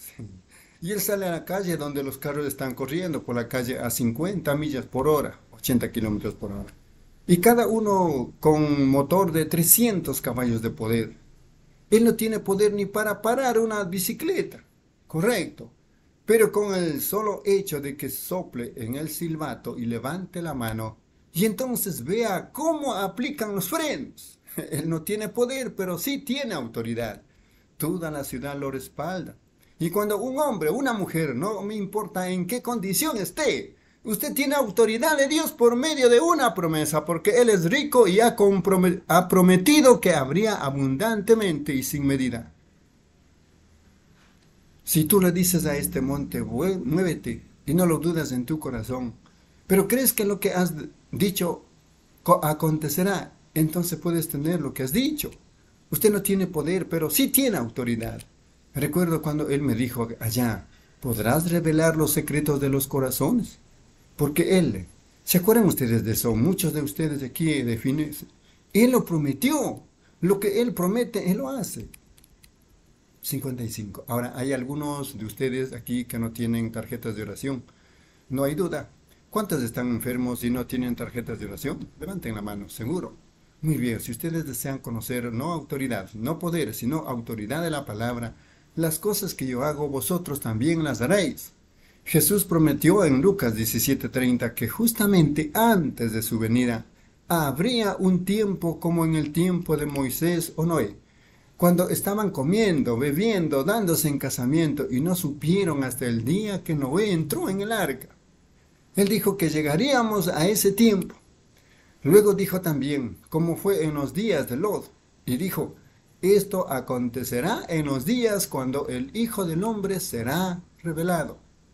Cuando el Hijo del Hombre será revelado en los últimos días. Amén. Párrafo 56. Ahora vean lo que él, cómo fue que el Hijo del Hombre se reveló en la persona de este ángel, lo cual fue el Hijo del Hombre. Absolutamente. Abraham lo llamó Elohim. Él fue el Hijo del Hombre, revelándose a sí mismo justamente antes que el mundo gentil fuera quemado. ¿Cómo lo hizo? Al creyente, a los creyentes manufacturados. Él los envió allá dos predicadores a predicarles. Pero él se quedó allí con el creyente genuino con su espalda a las tiendas. Y dijo, Abraham, él era Abraham, el día, unos días antes, pero ahora él es Abraham. ¿Dónde está tu esposa Sara? Dijo, ella está en la tienda detrás de ti. Dijo, voy a cumplir mi promesa que te hice. Te voy a visitar. Oh, Abraham ya tenía 100 años y Sara 90, pero Dios rico en misericordia cumplió su promesa. Trajo el niño por cuanto Dios es misericordioso y Él está lleno de misericordia. Él es rico en misericordia. Él cumple su promesa. Amén. Párrafo 57. Noten, con su espalda a la tienda, Sara se rió y dijo, ¿cómo pueden ser estas cosas? Yo soy vieja. ¿Cómo puedo yo tener deleite con mi esposo como una joven casada? Pues él ya tiene 100 años. Nuestra relación familiar ha cesado hace muchos, muchos años. ¿Cómo puede ser esto? Y ella se rió entre sí acerca de eso. Y el ángel con el hijo del hombre con su espalda a la, a la tienda dijo, ¿por qué se ha reído Sara diciendo, ¿cómo pueden ser estas cosas? ¿Qué era? Jesús dijo en San Lucas 17:30 que en los días como fue en los días de Lot, la misma situación antes que el mundo gentil sea quemado. Él dijo, el Hijo del Hombre se revelará en aquel día. Él hizo la promesa. En Malaquías 4 promete que un mensaje saldría que restauraría al pueblo una vez más al mensaje pentecostal original y con las mismas bendiciones que tuvieron en el día de, ¿qué es? Es un águila con dos alas del Antiguo y el Nuevo Testamento, aleteando las promesas de Dios para cumplir lo que las promesas de la Biblia dijeron que haría. Amén. Párrafo 58. Dios rico en misericordia, no iba a permitir que su pueblo saliera a esta edad de la iglesia de la Odisea tan denominacional, rica en bienes y cosas de este mundo. Pero Él les prepararía una vía de escape. Gente, créanlo. Dios les bendiga. Amén. Dios rico en misericordia. Las misericordias de Dios, esa es la única cosa que yo deseo. No su justicia, no su ley, sino su misericordia es por lo cual yo aclamo. Dios sea misericordioso conmigo. Todos tenemos ese sentir. Yo he estado observando. Hay una damita sentada aquí al fin de esta hilera. Señora, ¿tiene usted una tarjeta de oración? No tiene. Permítame mostrarles que Dios es rico en misericordia. Usted últimamente ha estado muy nerviosa, ¿correcto? Muy nerviosa. Y sus ojos han empeorado, ¿correcto? Correcto. Ahora van a cambiar. Dios rico en su misericordia, al haberle preguntado a usted si creería esto. Ahora, usted no tiene tarjeta de oración, usted no tiene nada, pero usted no lo necesita. Ven, es gracia que ha sido mostrada para usted. 59. Allí está sentado un muchachito muy pequeño, sentado allí enfrente con una... Eh, está sentado allí mismo. Él está sufriendo con un crecimiento en su cuerpo. Y eso ha comenzado muy recientemente. ¿No es correcto, Señor? Es correcto, usted no sabe lo que es. Usted lo tiene miedo. Correcto, eso fue causado por un golpe. ¿No es cierto? ¿Tiene usted tarjeta de oración? No tiene tarjeta de oración, usted no la necesita. Dios rico en misericordia. Oh, hermano, hermana, crea en Dios. No lo duden, créanle. Correcto, aquí está sentado un hombre con un traje color gris, con lentes. Mire acá, Señor. ¿Cree usted Dios es rico en su misericordia? Usted está sentada ya allí con una hernia. ¿Cree usted que Dios puede sanar esa hernia y sanarlo? Sentado así al final de la fila de mirándome. Si usted cree que Dios puede sanar esa hernia, Dios hará eso por usted, si usted lo acepta. ¿Lo cree usted? ¿Lo acepta? Muy bien, usted lo puede obtener si solamente lo cree. Tenga misericordia. Sí, Señor. Párrafo 60 por último. Aquí está una dama sentada aquí y está sufriendo de mala circulación en su cuerpo. Pero si ella creyera, Dios la sanará, si ella lo cree. Yo creo que ella lo va a pasar por alto tan seguro como cualquier cosa. Ten misericordia es mi oración. Como claramente veo que la mujer, señora Riley, ¿cree usted que Dios puede sanar esa mala circulación? Si usted cree, recíbalo, amén. Solamente crea, Dios es bueno. No es así, Stella.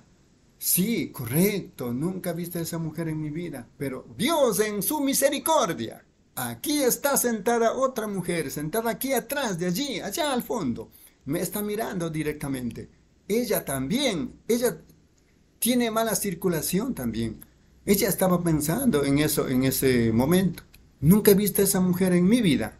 Siendo que esta otra mujer tenía la misma cosa, ella me está mirando. ¿Cree usted que yo soy el profeta de Dios o su siervo?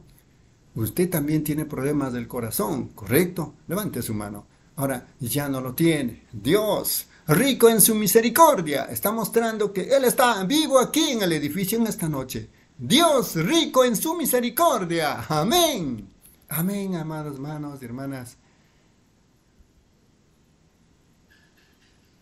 Seguimos compartiendo la lectura de este mensaje titulado El Dios que es rico en misericordia, servicio realizado en Fines, Arizona, Estados Unidos, del día 19 de enero del año 1965. A continuación, hermana Reina, por favor, en los párrafos 61 al 70. Amén. Dios les bendiga, mis hermanos. Continuamos con la lectura del mensaje El Dios que es rico en misericordia. Párrafo 61 podría ver cuántos pecadores y recaídos se pondrán de pie y dirán, Dios, rico en su misericordia, sea misericordioso conmigo. Póngase de pie. Yo oraré por ustedes si creen que Él desea. Usted desea misericordia ahora. Dios le bendiga. Dios le bendiga.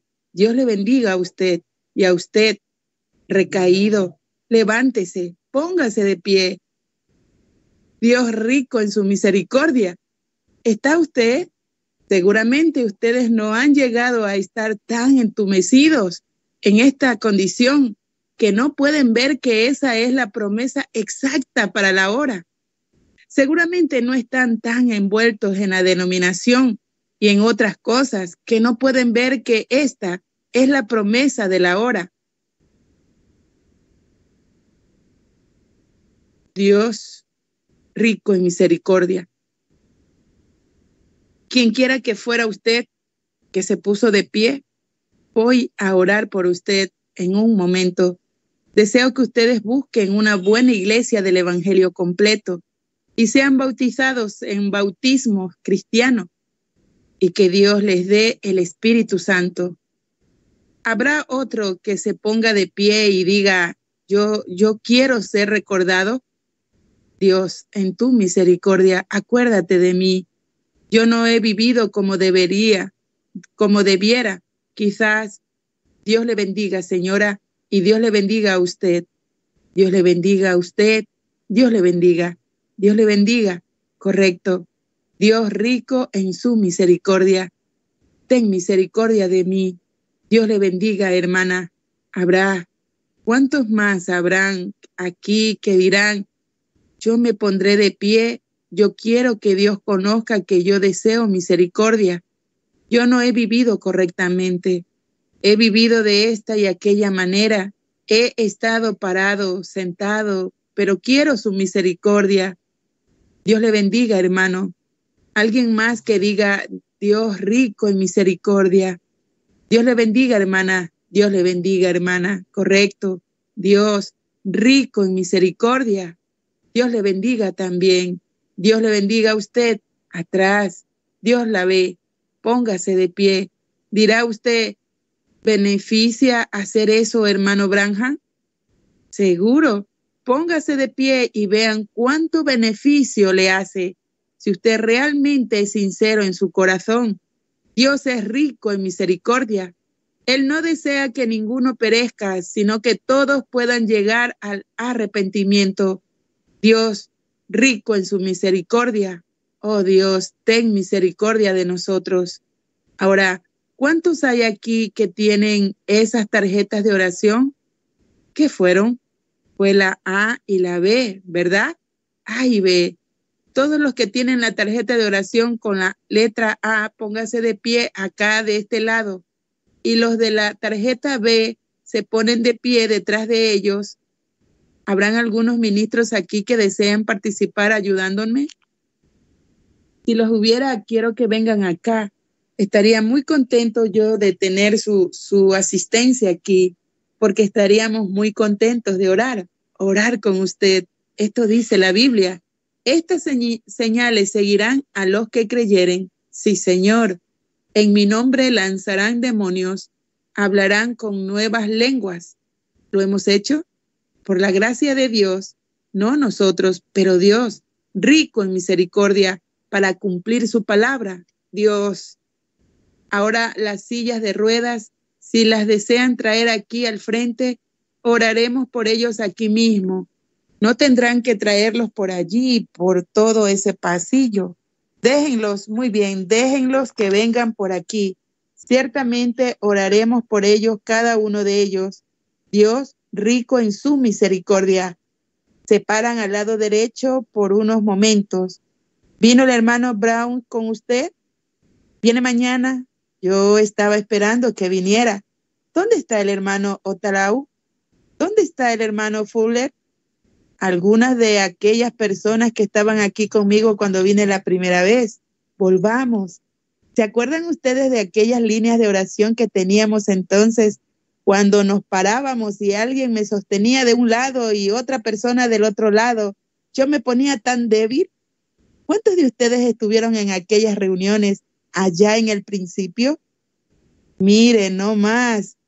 ¿Se acuerdan allá de que yo les dije que el Señor Jesús me dijo que si yo fuera sincero, que estas cosas acontecerían? Correcto. No tuvimos tales cosas en aquellos días, pero ha sucedido por cuanto Dios es rico en su misericordia y leal a su promesa. Amén. Estoy tratando de terminar. Eh, no puedo. Amén. Alabado sea Dios. Aleluya. Oh, estoy tan contento de ser uno de ellos. Amén. Hay gente por doquier cuyos corazones están ardiendo con el fuego que cayó en Pentecostés, lo cual les limpió totalmente. Oh, está ahora ardiendo en mi corazón. Oh, gloria a su nombre. Estoy tan contento que soy uno de ellos. Oh, yo, un desventurado, miserable, pobre, ciego, desventurado, como era yo. Y ahora por su misericordia, su rica misericordia, puedo ver el reino de Dios a la vista. Amén. Cuán hermosos son sus mandamientos. Párese por aquí, mi hermano, con las muletas. Si no se puede parar, muy bien, quédese allí. Iremos allí y oraremos por usted. Y ahora que todos los que tienen la tarjeta A y B, que se alineen acá a este otro lado y vamos a orar por ellos. Hermanos ministros, ustedes ciertamente están, si creen en imposición de manos sobre los enfermos, vengan y párense aquí conmigo en esta plataforma. Vamos a orar por los enfermos. 66. Ahora, para ustedes que están parados en esa línea, si ustedes pueden creer que la presencia de Dios está aquí, que el Espíritu Santo está ahora en nuestro medio, haciendo exactamente lo que Él prometió que haría. Si yo tuviera el poder para sanarle, ciertamente lo haría. Si yo tuviera alguna manera de sanarle, yo ciertamente lo haría. Yo no tengo eso. Yo, Dios me ha dado este pequeño don. Yo no soy mucho como predicador. No tengo suficiente educación para calificar como predicador.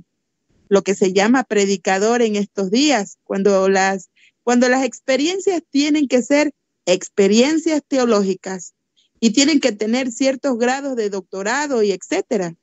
Yo no puedo calificar para eso, pero Dios, viendo mi corazón y sabiendo que yo quería hacer algo por Él, yo quiero agradecerle. 67. Un hombre me dijo el otro día, dijo, yo pienso que usted es un hombre muy fino, señor Branham, pero yo creo que usted está sinceramente errado. Usted está completamente fuera de la voluntad.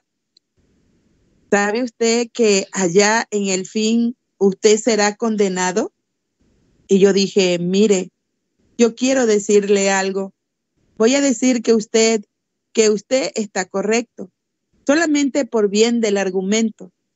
Si yo estoy errado, lo cual yo, yo no creo estar, pero si estuviera errado y yo supiera en este momento que yo iba a vivir hasta los 100 años y luego que él me iba a condenar en el fin del camino y me iba a decir, tú no, tú no mereces venir a mi cielo, tú no mereces venir a mi cielo, William Branham, apártate a las tinieblas. ¿Sabe usted qué? Yo le serviría de todas maneras, todos los días de mi vida, hasta el fin, porque yo he recibido tantas de sus bendiciones inmerecidas, que Él es más que la vida para mí. Él es todo de lo que yo, todo lo que yo soy, todo lo que yo jamás tengo esperanza de ser todo lo he obtenido por su gracia y misericordia. Yo era un desventurado, miserable, pobre, ciego, pero por la gracia Él me ha sanado y estoy fuerte y sano por la gracia de Dios. Tengo buena vista, tengo de comer, de beber, tengo todo cuanto tengo necesidad. Él nunca prometió suplir mis deseos, sino mi necesidad. Amén. Y si en aquel día yo fuere un desechado y conociera, yo no puedo ver cómo sería, pero si yo supiera que estaba errado y que fuere la elección de Dios que yo estuviera errado, yo quisiera permanecer errado. Y eso por cuanto deseo cumplir su voluntad. Es que yo le amo a Él a tal grado que quiero que se cumpla su voluntad Ahora, eso es algo grande para decir, pero ojalá puedan recibirlo en la manera, en el espíritu en que lo dije. ¿Ven? Yo quiero hacer su voluntad. Hay veces cuando yo le pido algo a Él y Él mueve la cabeza y dice, no, yo me regocijo igual como si me hubiera dicho sí, porque siempre debemos pedir, sea hecha tu voluntad. Cuando Él dice no, si esa es su voluntad, es mucho mejor que si nos hubiera dicho sí. Sí, es su voluntad decir así. Eso es cuando uno en verdad le ama. Amén. 69. Me pongo a hablar de Él y no puedo parar. Oh, Él es tan real, tan real para mí, amigos. Él es, Él es todo lo que soy, todo lo que espero ser, todo lo que espero ser. Todo está fundado en Cristo Jesús, su palabra. Estoy agradecido en esta noche por el testimonio del Espíritu Santo, por el mensaje. Yo sé que algunos quizás estén en desacuerdo, pero como les he dicho, yo estoy comprometido a un mensaje. Salió una señal y Dios no envía una señal solamente para mostrar que Él es Dios. Un mensaje, una voz, siempre sigue la señal. Cualquiera sabe eso. Jesús vino con señales y maravillas. Él fue un gran hombre cuando él estaba obrando señales y maravillas. Pero cuando comenzó a sentarse y comenzó a traer el mensaje, yo y mi padre uno somos, oh, eso era errado para ellos. ¿Ven? Pero la voz tuvo que seguir la señal. 70. A Moisés le fueron dadas dos señales y cada una tuvo una voz, ¿correcto?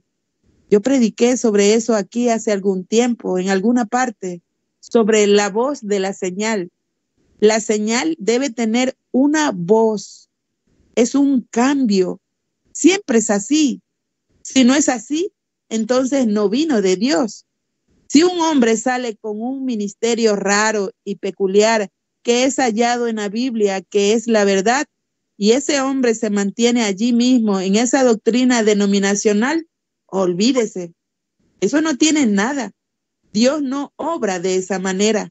Esa cosa, eso es maná podrido que tiene termitas o gusanos o como ustedes lo quieran llamar desde hace 40, 50 años. Aún están tratando de comer ese maná viejo que cayó hace tantos años atrás. Y los hijos de Israel, cuando estaban en su jornada, maná nuevo caía cada noche, ¿correcto? no se podía guardar para otro día. Nosotros no vivimos por una edad que ya ha pasado. Estamos comiendo el maná nuevo, el maná fresco del cielo en nuestra jornada mientras avanzamos.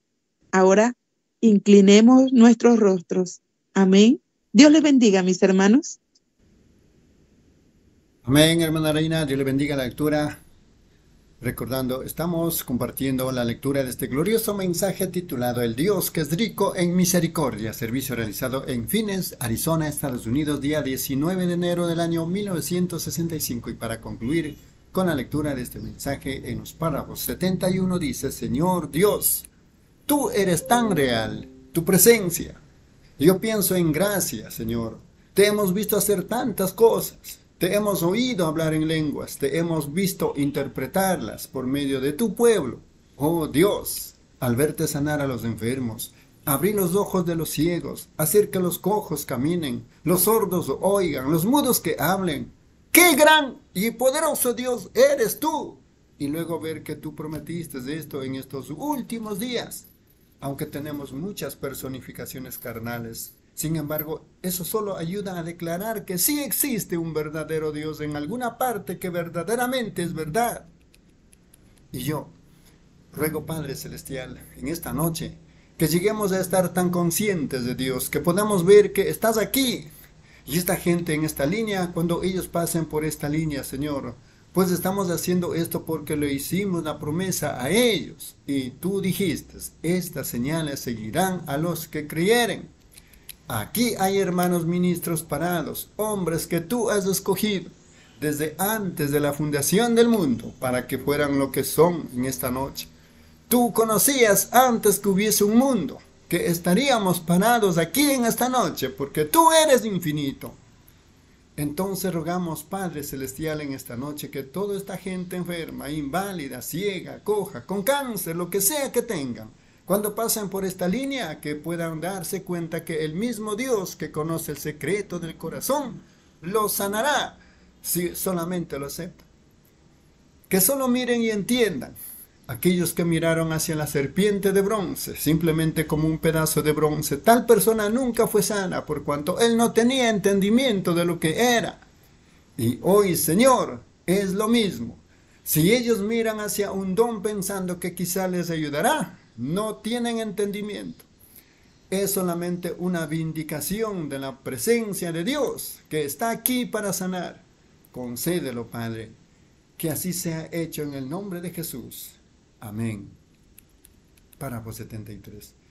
Yo quiero que el pianista, si puede venir, hombre o mujer, quien sea, que vaya y toque este himno. La tierna voz del Salvador nos habla como vida. El himno El Gran Médico. Si lo hace donde sea que esté el pianista, ahora eso es. Me acuerdo de uno de mis primeros cultos de sanidad en Fort Wayne, Indiana. Había una joven de religión Amix estaba sentada, tocando el piano. La tierna voz del Salvador nos habla conmovida. Me trajeron un niño a la plataforma y estaba lisiado. Y mientras yo estaba orando por el niño, se me brincó de los brazos y comenzó a correr por la plataforma. La mamá se desmayó. La abuela tiró su pañuelo al aire y comenzó a llorar. Y esta joven de religión a mí, religión parecida a la menonita, no conociendo nada acerca de los pentecostales, porque ella pertenecía a la iglesia Amish, pero ella estaba tocando, su cabello largo se le, se le soltó, ella se levantó en el espíritu y comenzó a cantar en lenguas desconocidas, y, la, y con la misma armonía de ese himno, y las teclas del piano siguieron moviéndose, tocando. La tierna voz del Salvador nos habla como vida. Amén. Él es el mismo ayer, hoy y por los siglos. Párrafo 74. Ahora oremos. Ahora todos ustedes allá oren. Ustedes que vienen por la línea, cuando impongamos nuestras manos sobre ustedes, recuerden, Jesús dijo, si lo creen, serán sanados. ¿Lo creen ustedes? Ahora todos cantemos juntos la tierna voz del Salvador. Nos habla conmovida. Al médico de amor que da a los muertos vida. Él tiene toda potestad puede sanar la enfermedad, lleno de, Padre Dios, muévete sobre el pueblo ahora mismo. Gracia y de bondad es nuestro Jesucristo, el gran. Ahora mientras caminan por aquí, Él está aquí. Tomen mi palabra o créanlo por sí mismo. Él está aquí. Todos ahora en oración por esta gente. El hermano Branham y los ministros oran por los enfermos mientras el hermano Borges dirige a la congregación en el canto. Creo, Señor, Creo, Señor. Todo es posible. Creo, Señor. Todos los que creen, levanten la mano así y digan, yo creo. La congregación dice, yo creo. Aquí está sentado un hombre. La razón por la que me extendí hablando, él se está muriendo de cáncer. Él está en esta muleta. Fuera de Dios no hay ninguna manera en todo el mundo para que ese hombre viva. Él tiene cáncer por todos los intestinos y él va a morir si no es por la misericordia de Dios. Ojalá yo pudiera. Palabra de ánimo a este hombre. Usted, usted sabe que ahora los médicos no pueden hacer nada por usted. Usted está más allá de eso. Y usted tiene una sola oportunidad. Y ese es Cristo. Ven. Y hermano, usted, yo moriré algún día también. Usted tendrá que ir si Jesús tarda. Y yo tengo que encontrarme con usted allá y pararnos juntos en el juicio. Y en esta noche, usted sabe cómo la televisión, la televisión ha captado que cada vez que movernos, que movernos el dedo, cualquier cosa, eso queda registrado. Toda palabra que decimos está registrada. Ahora vean, la televisión ha probado eso. Ahora, la televisión no produce esa imagen, solamente canaliza la onda por la televisión. Ven, no la produce. Había televisión cuando Adán caminaba sobre la tierra. Había televisión cuando, cuando Moisés atravesó el Mar Rojo. Había televisión cuando Elías estuvo sobre el monte Carmelo. Ven, pero es que acaban de destruirla. Ven, y ahora donde quiera que yo, todo movimiento que hacemos, todo sonido, se está grabando en un disco con el cual nos enfrentaremos en el juicio. Todo movimiento que hacemos nos enfrentará ya yo tengo que responder por las palabras que les digo a ustedes como ministro. Lo tengo que hacer por cuanto Dios me tiene responsable por eso. Ahora, si yo pudiera, yo lo sanaría. Porque usted apenas tiene un poco de tiempo, si no fuera por Dios. Ahora, yo bajé y oré por usted. Es todo lo que sabía hacer. Hermano, cualquier cosa en el mundo que yo pudiera hacer por un hombre sentado allí en tal condición, yo lo hiciera. Y déjenme preguntarle, ¿ve? Usted ya está sano, porque Jesús dijo que así era. Ve, por sus llagas fuimos nosotros curados. Ahora si usted puede desde lo profundo de su corazón aceptar eso, usted no morirá ahora, sino que vivirá. Ahora vean. Ahora, sabemos que televisión está pasando aquí por este cuarto. Sabemos eso, no lo vemos. No lo podemos ver. Nuestros ojos no son hechos de tal forma. Nuestros sentidos no lo pueden captar se necesita un aparato manufacturado, o lo que es un cristal para captar eso. Igualmente, Dios está presente. No lo vemos, pero sabemos que está aquí. Jesucristo es el mismo. Miren, Él se acaba de declarar cómo es que Él se muestra. Ahora, en cuanto a la sanidad, si Él estuviera parado aquí presente, Él no podría hacer más por usted. Ven, ninguna cosa más. Si el Hijo de Dios estuviera parado aquí, lo cual está, él está aquí, pero Él no podría hacer nada más por usted, porque Él ya se ha identificado aquí, ¿ve? Y Él está aquí, ahora mismo, igual, para sanarlo y ponerlo bien. Gloria Dios. Párrafo 78. Y esa damita allí me dijo, usted pidió una bendición y profetizó o algo sobre ella, que ella tuviera un niño. Estaba sentada allí en esa silla de ruedas y así fue. Y esa mujer tuvo el niño. Y ahora la damita está sentada aquí. Ahora ella tuvo una operación del bocio y la paralizó. Bueno, vemos tanto de esas cosas que suceden. Ahora, hermanita, yo sé que usted es una genuina cristiana. ¿Por qué Dios lo ha dejado sentada allí? Yo no sé. Yo creo que quizás pueda ser eh, porque usted tiene fe. Usted quiere tener fe para salir de allí. Ve. Pero ahora vea, no intentemos tener fe, tengamos fe, ve. Y simplemente va a estar allí. Eso es todo. Eso va a comenzar ahora mismo y vamos a ser sanos. Y ustedes que están en esas sillas, donde quiera que estén, solamente recuerden que Cristo está presente. Párrafo 79. Ahora, usted dice, ¿habrá alguien? ¿Ve usted mi fotografía que está pasando? Oh, sí, aún las palabras de Jesucristo que Él habló cuando Él estuvo aquí en la tierra están pasando por este cuarto. Eso nunca muere. ¿Cuántos saben que eso es científicamente la verdad? La congregación dice amén. Bueno, ¿qué es? Entonces el Espíritu capta esa palabra que ha sido escrita y la manifiesta. ¡Oh, gloria! Él está aquí. Él está aquí ahora mismo. El Señor, nosotros, nosotros hemos visto tanto. Él ha hecho tanto hasta que simplemente usted sabe, tropezamos con eso, si podemos darnos cuenta. No es simplemente una cosa mística algún término teológico, sino la evidencia que Él prometió que Él se mostraría en este día. Aquí Él se está declarando aquí ante nosotros ahora mismo. ¡Qué cosa más maravillosa! ¿No es maravilloso? La congregación dice amén. Párrafo, párrafo 80.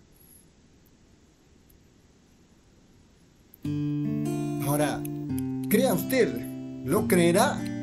Crea que no va a morir, va a vivir y va a honrar a Dios, va a honrar a Dios. Ha sido bautizado. Si usted es cristiano, lo es. ¿Es cristiano? Bien, usted vea, desea vivir para la honra de Dios. Entonces vaya mi hermano, en el nombre de Jesucristo, viva. Y hermana, ¿usted quiere caminar Entonces camine, hermana, en el nombre de Jesucristo. Ustedes todos, ustedes, hagan lo mismo en el nombre de Jesucristo. No se olviden de esto, Motel Westfield. Oh, aquí esta noche la presencia de Dios se ha identificado aquí. Él no tiene acepción de personas. Él solo quiere que usted crea. ¿No creen ustedes ahora? La congregación dice amén. Amén. Dios les bendiga. Inclinemos nuestros rostros ahora. No sé a quién han escogido para despedirnos. Aquí el hermano Mushigian. Venga aquí, hermano. Él nos va a despedir en oración. Dios les bendiga. Amén. Amén, mis amados hermanos y hermanas. De esta manera hemos terminado la lectura de este glorioso mensaje titulado El Dios que es rico en misericordia. Este mensaje fue predicado en Phoenix, Arizona, Estados Unidos, el día 19 de enero del año 1965 por nuestro profeta Elías William Marion Branham. Que quede guardado y plasmado en cada uno de vuestros corazones. Que el Señor Jesucristo nos bendiga.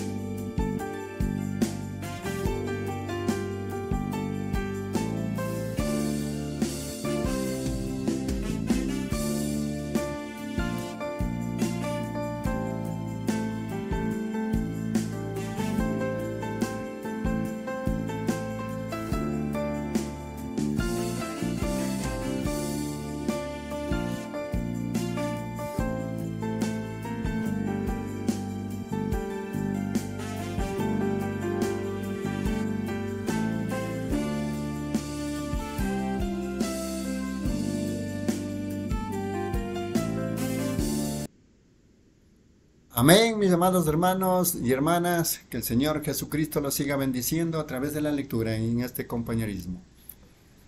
Siguiendo el orden cronológico de la lectura de los mensajes, nuestro siguiente mensaje se lecturado en esta hermosa tarde y noche se titula No te apoyes en tu propio entendimiento. Servicio también realizado en Phoenix, Arizona, Estados Unidos, el día 20 de enero del año 1965.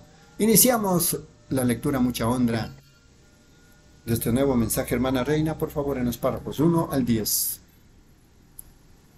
Amén. Dios le bendiga, mis hermanos. Con... Iniciamos la lectura del mensaje. No te apoyes en tu propio entendimiento. Párrafo 1. Permanezcamos de pie por un momento para orar. ¿Cuántos aquí tienen una petición de oración en su corazón? Que desean que Dios haga algo especial por usted en esta convención? Inclinemos nuestros rostros a Él. Padre Celestial, somos un pueblo privilegiado al estar congregados aquí en el nombre del Señor Jesús, en un país libre donde podemos adorarte a ti hasta ahora, de acuerdo a lo que nos dicte nuestra conciencia.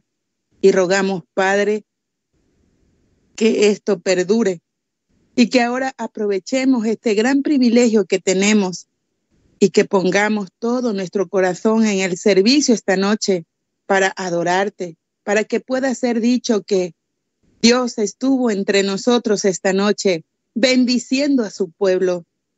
Salva toda alma perdida que se encuentre aquí esta noche, Señor, y todo descarriado, que ellos regresen a la casa de Dios yo ruego por cada persona enferma que sea sanada, que los afligidos puedan caminar y los ciegos ver, los sordos oír. La alabanza y la gloria sea dada a Jesucristo entre su pueblo, que sea recordado por mucho tiempo, Señor, porque nos hemos reunido y pedido estas bendiciones en el nombre de Jesús. Amén. Tomen asiento.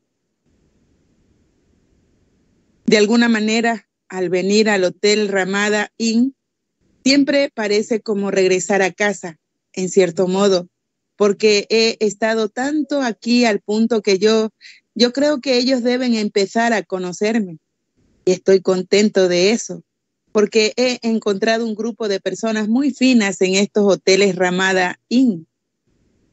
En el de Tunxo y el de aquí, ellos han sido muy amables con nosotros, permitiéndonos tener los servicios. No hace mucho yo mismo tuve un servicio allá en el Hotel Ramada Inn y el administrador ni siquiera me permitió pagar por el alquiler del auditorio eso fue algo realmente agradable, por supuesto. Yo recuerdo eso cuando estoy atravesando el país para con aquellos que son buenos con la familia de Dios. Tres, ahora hemos tenido desde el domingo en la noche o el domingo en la tarde, mejor dicho, algunos grandes momentos en el Señor, o al menos lo he tenido yo. Yo he pasado un tiempo maravilloso disfrutando de sus bendiciones y del compañerismo del Espíritu Santo y con su pueblo. Me gusta recordar que juntos estamos adorando a Dios. Ustedes son un atributo de Dios, una parte de Dios, cuando ustedes llegan a ser un hijo o hija de Dios. Y Dios está en ustedes, haciendo su voluntad, si ustedes permiten que Él lo haga. Así que esperamos en esta noche que cada persona se olvide de las cosas que han pasado durante los días y pongan todo a un lado y que solo pongamos nuestros corazones directamente ahora en el servicio, no solo en esta noche, pero en la convención que viene. No hay duda que muchos delegados se han reunido y yo veo algunos de los adicionales esta noche en la plataforma, reuniéndose para la convención que empieza mañana y le pido a la gente que está aquí para el avivamiento que acabamos de celebrar, que si es posible, yo desearía que ustedes se quedaran para la convención. Vamos a tener algunos buenos predicadores en lista. Un hermano no pudo venir, y, pero tenemos muchos que estarán aquí para tomar su lugar. Yo mismo quiero estar para toda la convención, para disfrutar de este compañerismo. Ustedes saben, nosotros subimos aquí como ministros y hablamos y siempre le estamos dando a la gente todo lo que está en nosotros. Yo prediqué un tema una vez donde Jesús dijo, considerad el lirio, cómo es que ellos ni trabajan ni hilan. Y sin embargo, yo os digo que ni Salomón con toda su gloria se vistió como uno. Y me doy cuenta que el lirio tiene que crecer día y noche, hilar, trabajar para hacerse radiante. Pero él mismo no recibe ninguna bendición de todo eso. Él mismo se abre y él y el transeúnte allí huele el perfume de él. La abeja obtiene la miel directo del corazón él entrega todo, por lo cual ha trabajado para abastecerse. Y yo titulé mi mensaje El reverendo señor Lirio. Así que ese es un texto un poco raro, pero así es. Los ministros se entregan a la gente y es bueno entonces simplemente sentarse y escuchar a otros, así como calentarse junto al fuego.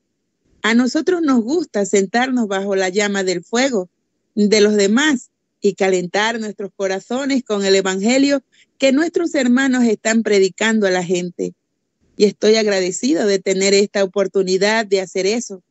Y ahora estoy confiando que esta noche Billy me dijo que él repartió tarjetas de oración completamente, pero no podríamos tener una línea de oración aquí arriba aun si tuviéramos que hacerlo. ¿Ven? Ustedes tendrían que salir dando la vuelta por allá y a través de un pasillo oscuro y venir por aquí y, si, y se tropezarían con todo para llegar aquí. Y los afligidos y lisiados estarían en una situación terrible al hacerlo. Pero no sabemos lo que nuestro Señor puede hacer. Él podría bajar entre nosotros en esta noche y sanar a cada uno que está aquí, toda enfermedad.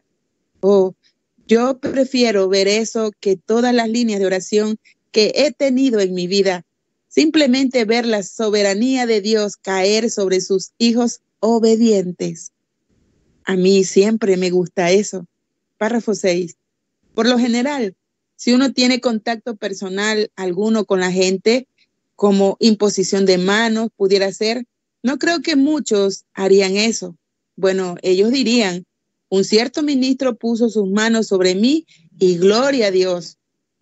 Eso hace entonces que la gente ponga su mirada en ese ministro. Pero si uno tan solo se puede parar aquí, predicar la palabra y dejar que el Espíritu Santo sane a cada uno, entonces es absolutamente la gracia de Dios. Y entonces Dios recibe toda alabanza, gloria, y no queda ni la sombra de nada para nadie más. Esa es la manera que yo en mi ministerio, la razón que no alcanzo a muchos, a menos que ahora anoche tratamos de orar por todos los que pudimos, pero imponer las manos, siete, generalmente es por las noches. Quizás el Espíritu Santo venga entre nosotros y empiece a manifestarse, darse a conocer a sí mismo entre nosotros. Y entonces, en eso, lo cual yo creo que es real, cuando, cuando quizás Él en soberanía, ven, yo no puedo decir este hombre o esta mujer o ese niño, ven, el Espíritu Santo se mueve a través del edificio y habla a quien Él quiera hablarle. ¿Ven? Eso es soberano. Y entonces eso trae el conocimiento, porque es una promesa de Dios. Y eso trae el conocimiento de la soberanía de Dios y también hace descender su presencia entre nosotros. Nosotros deberíamos ver eso y regocijarnos. Y no importa usted dice, pues yo estaba lisiado en mi mano. Yo estuve allí anoche. Yo no mejoré nada. Eso no tiene nada que ver con ello. Para usted ya está consumado. Usted ya no está mirando su mano. Usted está mirando una promesa. Amén. ¿Ven ustedes? Y por lo tanto, usted no puede decir, bueno, el hermano fulano de tal no oró la oración de fe o esto y lo otro. Es la presencia del Señor que le dio a usted la fe. ¿Ven ustedes? Y entonces Él envió su palabra y lo sanó. Ocho. Ahora, anoche yo, yo incumplí mi promesa nuevamente. Verdaderamente voy a intentar cumplirla esta noche si puedo. Y alguien dijo, usted no se mantuvo en su texto anoche. No, yo no lo hice, porque les diré el por qué. Yo iba a predicar sobre un tema y se me olvida exactamente cuál, pero Dios, rico y misericordia. Y empecé a tratar de explicar cómo es que Pablo, hablando allí, dijo, nosotros que en otro tiempo estábamos, en una ocasión, en algún otro tiempo distinto que ahora, estábamos muertos en pecados y delitos, a quien Dios ha vivificado, dado vida. Ahora vean, antes que algo pueda ser vivificado, tiene que haber algo allí por medio del cual vivificarlo, ¿correcto? Nueve, así que vean, si ustedes estaban en el previo conocimiento de Dios, entonces ustedes están llegando a ser parte de Dios. Y la única manera que puedan ser un hijo de Dios o una hija de Dios es que tenían que ser parte de Dios. Y Dios no está completo sin ustedes. Tiene que ser, correcto, porque hay una sola fuente de vida eterna y ese es Dios y solamente Él tiene vida eterna, ¿ven? Ahora, y ustedes eran parte de Él, a tal grado que son un atributo, o estaban en su pensamiento en el principio.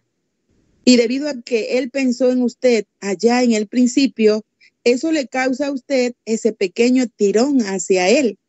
Eso es lo que tiene que ser vivificado. Algunos de ellos nunca serán vivificados. Ellos simplemente no lo tienen. Eso es todo. Así como si usted pusiera un grano de maíz en la tierra que no tuviera, por más hermoso que fuera, si no tiene el germen de vida en él, nunca podrá ser vivificado. Pero el germen de vida tiene que estar allí primero. Párrafo 10. Yo tengo esa pequeña historia acerca de esa águila, caminando con las gallinas y, los pollos, porque él fue empollado allí y, allí nació. Pero él nunca se sintió como esos pollos. Y ustedes saben, cuando su mamá pasó por allí y gritó, él oyó una voz que, que le sonó muy bien, porque recuerden, para comenzar, él era un águila. Él simplemente tenía que encontrarse a sí mismo, encontrar su lugar. Y así es todo creyente. Ustedes no nacieron para este mundo. Ustedes fueron creados a la imagen de Dios, para ser hijos de Dios y ustedes no pertenecen a este gallinero aquí afuera. Ustedes son águilas. Y ustedes saben, yo comencé con eso del águila y no pude volver a fijar mis pies en la tierra. Así que me, me extendí demasiado y luego olvidé cuál era mi texto y perdí mis notas y todo lo demás. Yo me estaba gozando tremendamente, pero eso es lo que era era simplemente sobre esa águila. Amén. Dios le bendiga, mis hermanos. Amén, hermana Reina. Dios le bendiga la lectura. Recordando una vez más, hemos iniciado la lectura de un nuevo mensaje titulado No te apoyes en tu propio entendimiento. Servicio realizado en Fines, Arizona, Estados Unidos, día 20 de enero del año 1965. Es realmente para nosotros un privilegio de continuar con este compañerismo y compartiendo los mensajes de nuestro profeta Elías. En los párrafos 11 dice, para continuar, ahora que ese águila Dios, ustedes saben, Dios compara a sus profetas con águilas y él mismo se llama un águila. Él es Jehová águila, papá águila. Y la razón que él hace eso es porque un águila puede volar más alto que cualquier otra ave y porque él es hecho diferente a cualquier otra ave. Ahora, Él no construye su nido en el suelo como los pollos y demás, sino Él, sino que Él sube alto para construir su nido. Y otra cosa, Él es un ave de diseño especial.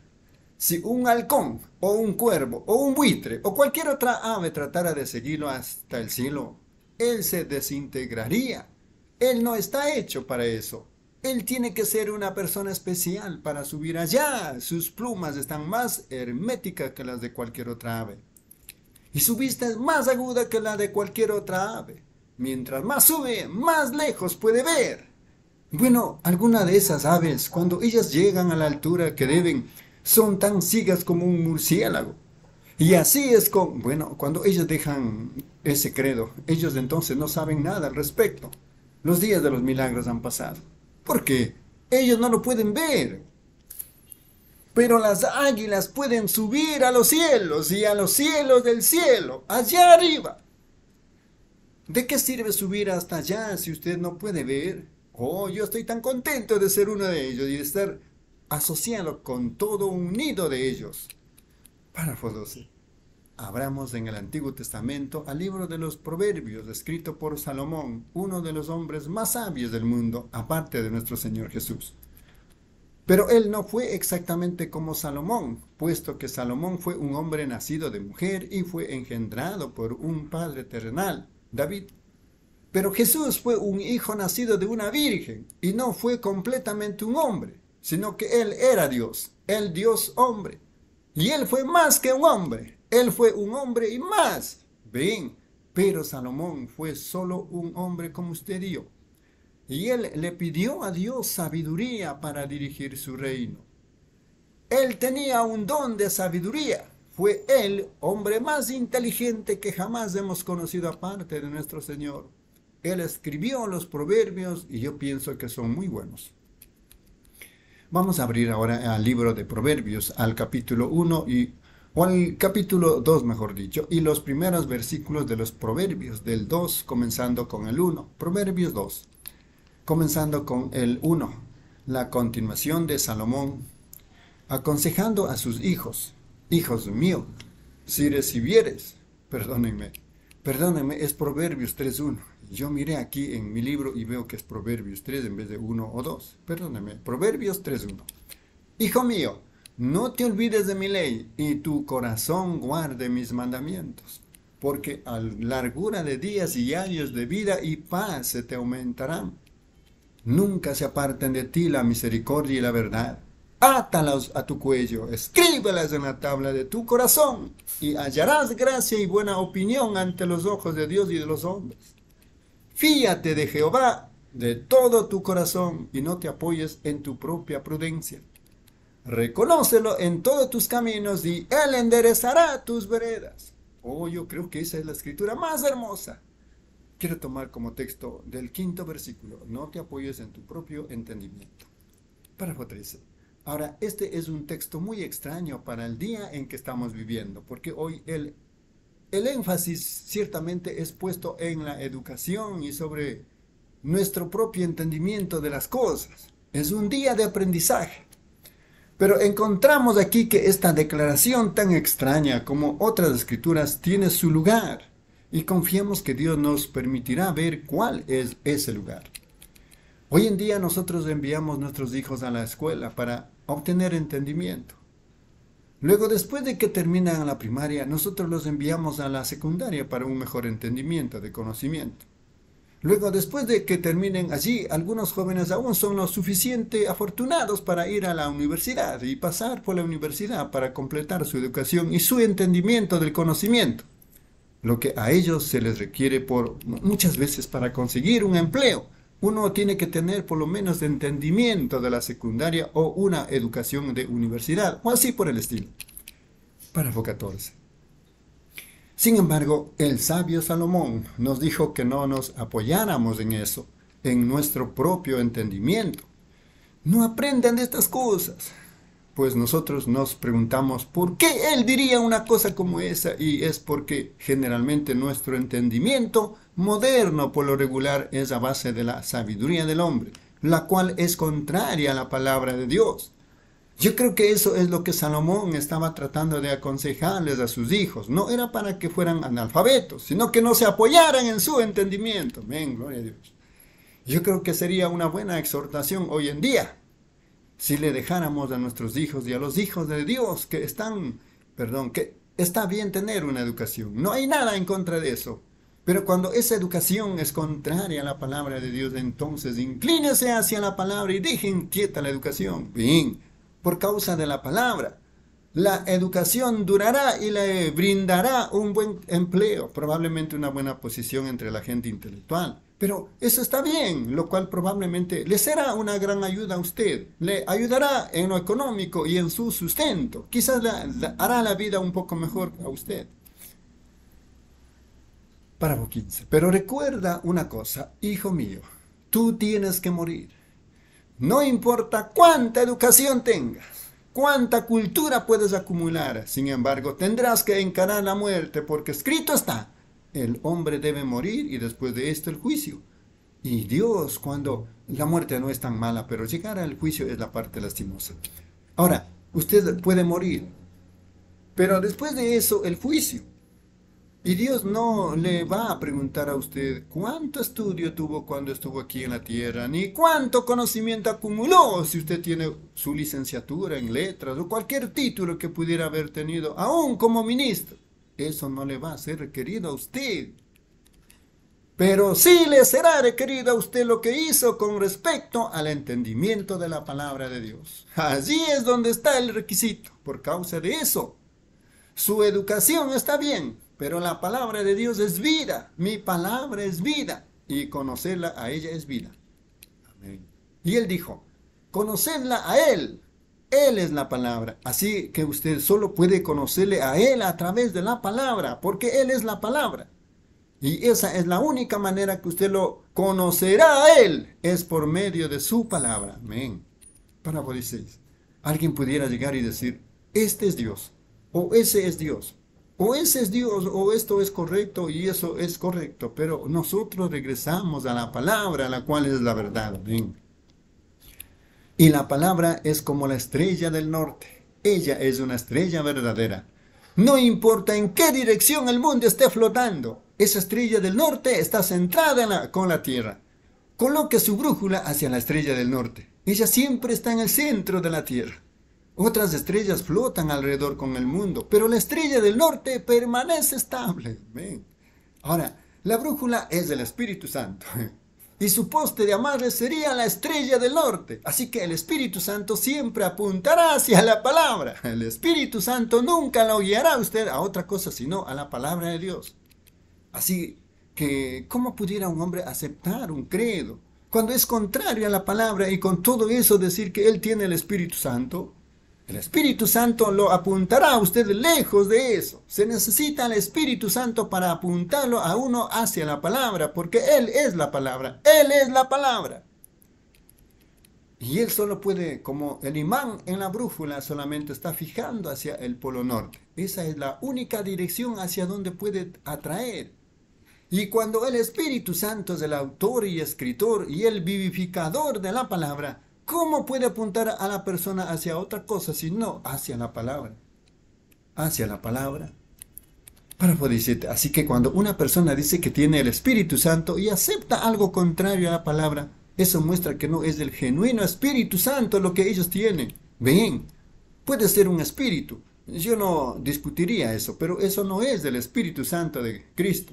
Ahora, ustedes saben, muchas veces ellos reciben los espíritus del uno del otro. Y entonces eso lo pudiera apuntar a un grupo de hombres, hacia una cierta cosa, pero eso no apuntará hacia Cristo.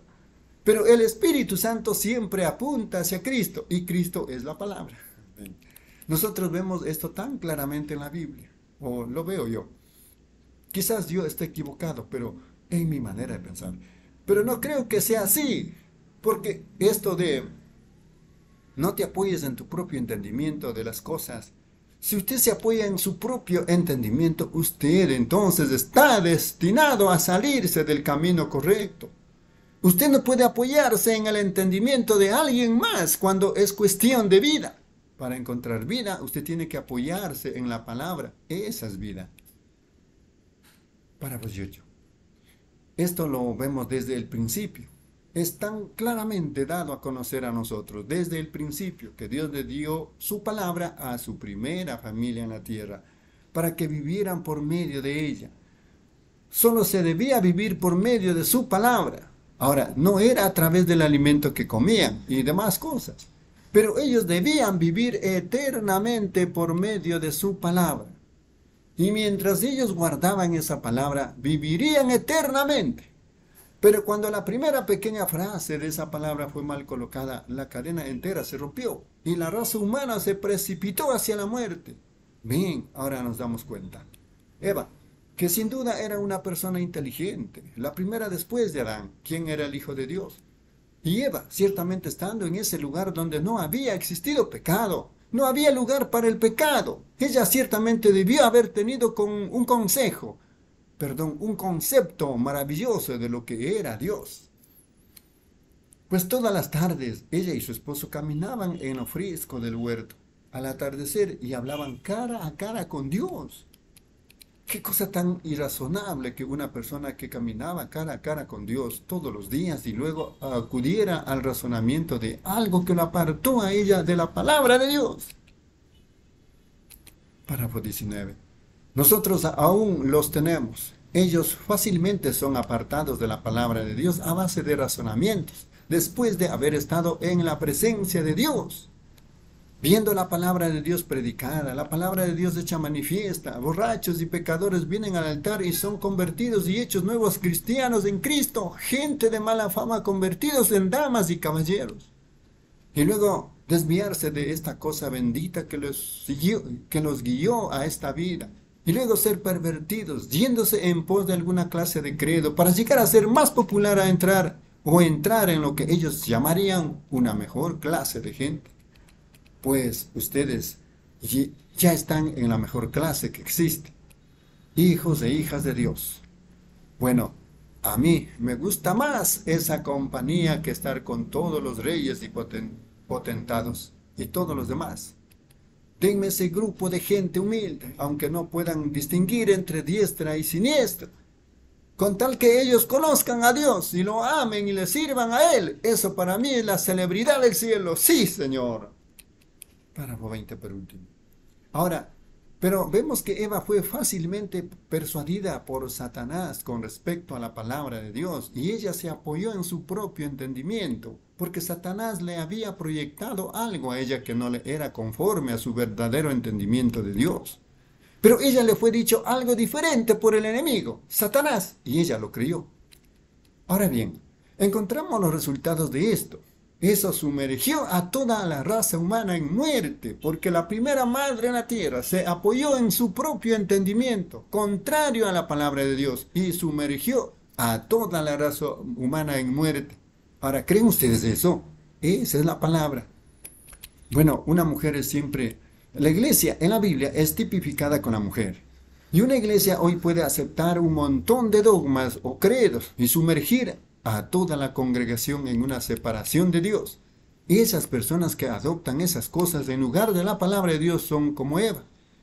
Y ha sido hecha, hecho vez tras vez al grado que tiene a toda esta generación desviada de la palabra de Dios. Amén. Amén, mis amados hermanos y hermanas. Estamos compartiendo en esta tarde y noche este glorioso mensaje titulado No te apoyes en tu propio entendimiento, mensaje predicado en Phoenix, Arizona, Estados Unidos, del día 20 de enero del año 1965. A continuación, hermana Reina, en los párrafos 21 al 30. Amén. Dios les bendiga, mis hermanos. Continuamos con la lectura del mensaje No te apoyes en tu propio entendimiento. Párrafo 21. Y cuando la palabra es hecha manifiesta, la palabra es revelada. Ellos no la aceptan. Y la razón de no hacerlo es porque se apoyan en su propio entendimiento. Esta iglesia fue edificada aquí. Es un lugar hermoso. Es una organización. Ella es miembro de un gran cuerpo de personas. ¿Por qué no debe, debiéramos nosotros pertenecer a eso? Yo confiaré en ella. No confíen en su propio entendimiento, sino confíen en la palabra del Señor. Ahora, ahora eso finalmente terminó en muerte para toda la raza, como ya dije, igual que ahora, para la mayoría de las personas que confían en su propio entendimiento, en sus dogmas y credos, y demás cosas, reclamando. La palabra de Dios no es completamente la verdad. Parte de ella es inspirada y la otra parte no. ¿Cómo pueden ustedes tener fe en una Biblia si una parte es inspirada y otra parte no? Si una, si una cita está mal, entonces la cosa entera podría estar mal. Toda tiene que estar correcta, exactamente correcta.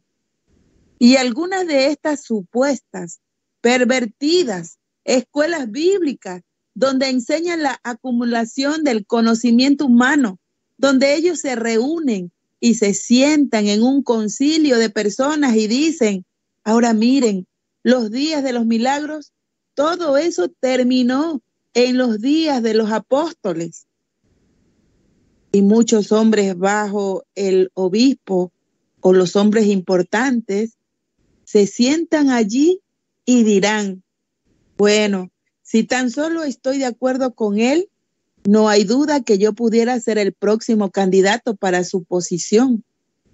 Vean, entonces ustedes se apoyan en su propio entendimiento en vez de pararse sobre sus dos pies por la palabra de Dios eso es lo que causa estas cosas. Hace algún tiempo alguien, yo estaba en una disputa sobre el impuesto sobre la renta y ellos me dijeron, dijeron, pues supongo que sus síndicos no son más que títeres. Yo dije, si yo tuviera un síndico en la mesa directiva que tuviera una idea diferente y él no se parara y a mí no me interesa quién sea el que esté hablando y él no expresara sus propios puntos de vista al respecto, yo lo expulsaría de la mesa directiva. Sí, señor, aunque fuera contrario a mi propia creencia, yo quiero que él exprese lo que él piensa que es correcto. Para eso es que lo tengo a él allí, para ver lo que él dice al respecto. Pero nosotros tenemos eso. Fíjense, Jesús dijo en San Juan 10, mis ovejas conocen mi voz. Una voz, por supuesto, es su palabra cuando Él está hablando. Mis ovejas conocen mi voz. Para ellas, mi voz ha sido probada ser la verdad. Ha sido vindicada que sí es mi voz, que sí es mi voz. Ahora, ahora fíjense, ellas no están sujetas a seguir ninguna otra voz. Ellas no lo harán. Mis ovejas conocen mi voz, mas al extraño no seguirán. En otras palabras, ellas no entenderán una voz teológica que esté enseñando contrario a la palabra. Las ovejas no entienden eso. Igual como el águila de anoche que no podía entender el bloqueo de la gallina. Ellos no lo, no lo entendían porque él era un águila. Y es igual con un genuino hijo de Dios nacido de nuevo. Ellos entienden únicamente las cosas que son de Dios. Ahora, alguien dice, bueno, mire, uno puede hacer esto, creo yo, eso. Yo no creo que sea de esa manera. Yo creo que los días de los milagros han pasado. Yo no creo que eso sea sanidad divina. Yo no creo esto. Ahora, un cristiano genuino, nacido de nuevo, eso nunca pasará en sus oídos perdón. Ahora, un cristiano genuino, nacido de nuevo, eso nunca parará en sus oídos. Él no lo entiende en lo absoluto. ¿Y cómo pudiera un hombre que cree en Dios y que puede leer la Biblia y ver que Él es el mismo ayer y hoy y por los siglos, jamás aceptar tal cosa como esa? Yo no lo entiendo. Así que ellos no se apoyan en su propio entendimiento. 25. Así como un bebé, que usted toma a un bebecito y cuando nazca, permita que él se apoye una vez sobre el seno de su madre, que se nutra de ella la leche tibia, que apoye su cabecita sobre el seno, aunque él tenga solo unas cuantas horas de nacido. En un día o dos, quítenlo de su madre y entréguenlo al pecho de una madre extraña. Él pateará con esos piececitos al aire y gritará. Esa no es su madre. Vean, él ya ha tenido algo al respecto, porque él es parte de esta madre y la naturaleza le ha provisto a él una manera de reconocer a su propia madre, a su propia mamá, y si la naturaleza le ha provisto la manera a un bebé para que reconozca a su madre de la cual ha nacido, ¿cuánto más lo habrá hecho él con un hijo de Dios que es nacido por el Espíritu de Dios? Él conoce a su mamá, él conoce, porque él nació de la palabra y él entiende la palabra. Póngalo en un lugar extraño él ciertamente estará fuera de lugar. Se saldrá de allí tan pronto como pueda, porque Él tiene, Él no se apoya. Alguien dice, ahora espere, querido, esta es tu mamá. Esa no es su mamá, porque Él tiene una manera de saber que Él es parte de esta madre. Esa es su madre y ninguna otra puede jamás tomar su lugar. Él conoce a su propia madre. Fíjense cómo que, cómo que eso es tan cierto. Dios ha hecho todo según su género. 26. El ganado según su género muchas veces al bajar una manada, traíamos manadas enteras de ganado y los pequeños becerros. Yo me preguntaba, ¿cómo reconocerían ellos a su propia mamá? Miren, ellos, al bajar de las montañas, el ganado estaba todo mezclado.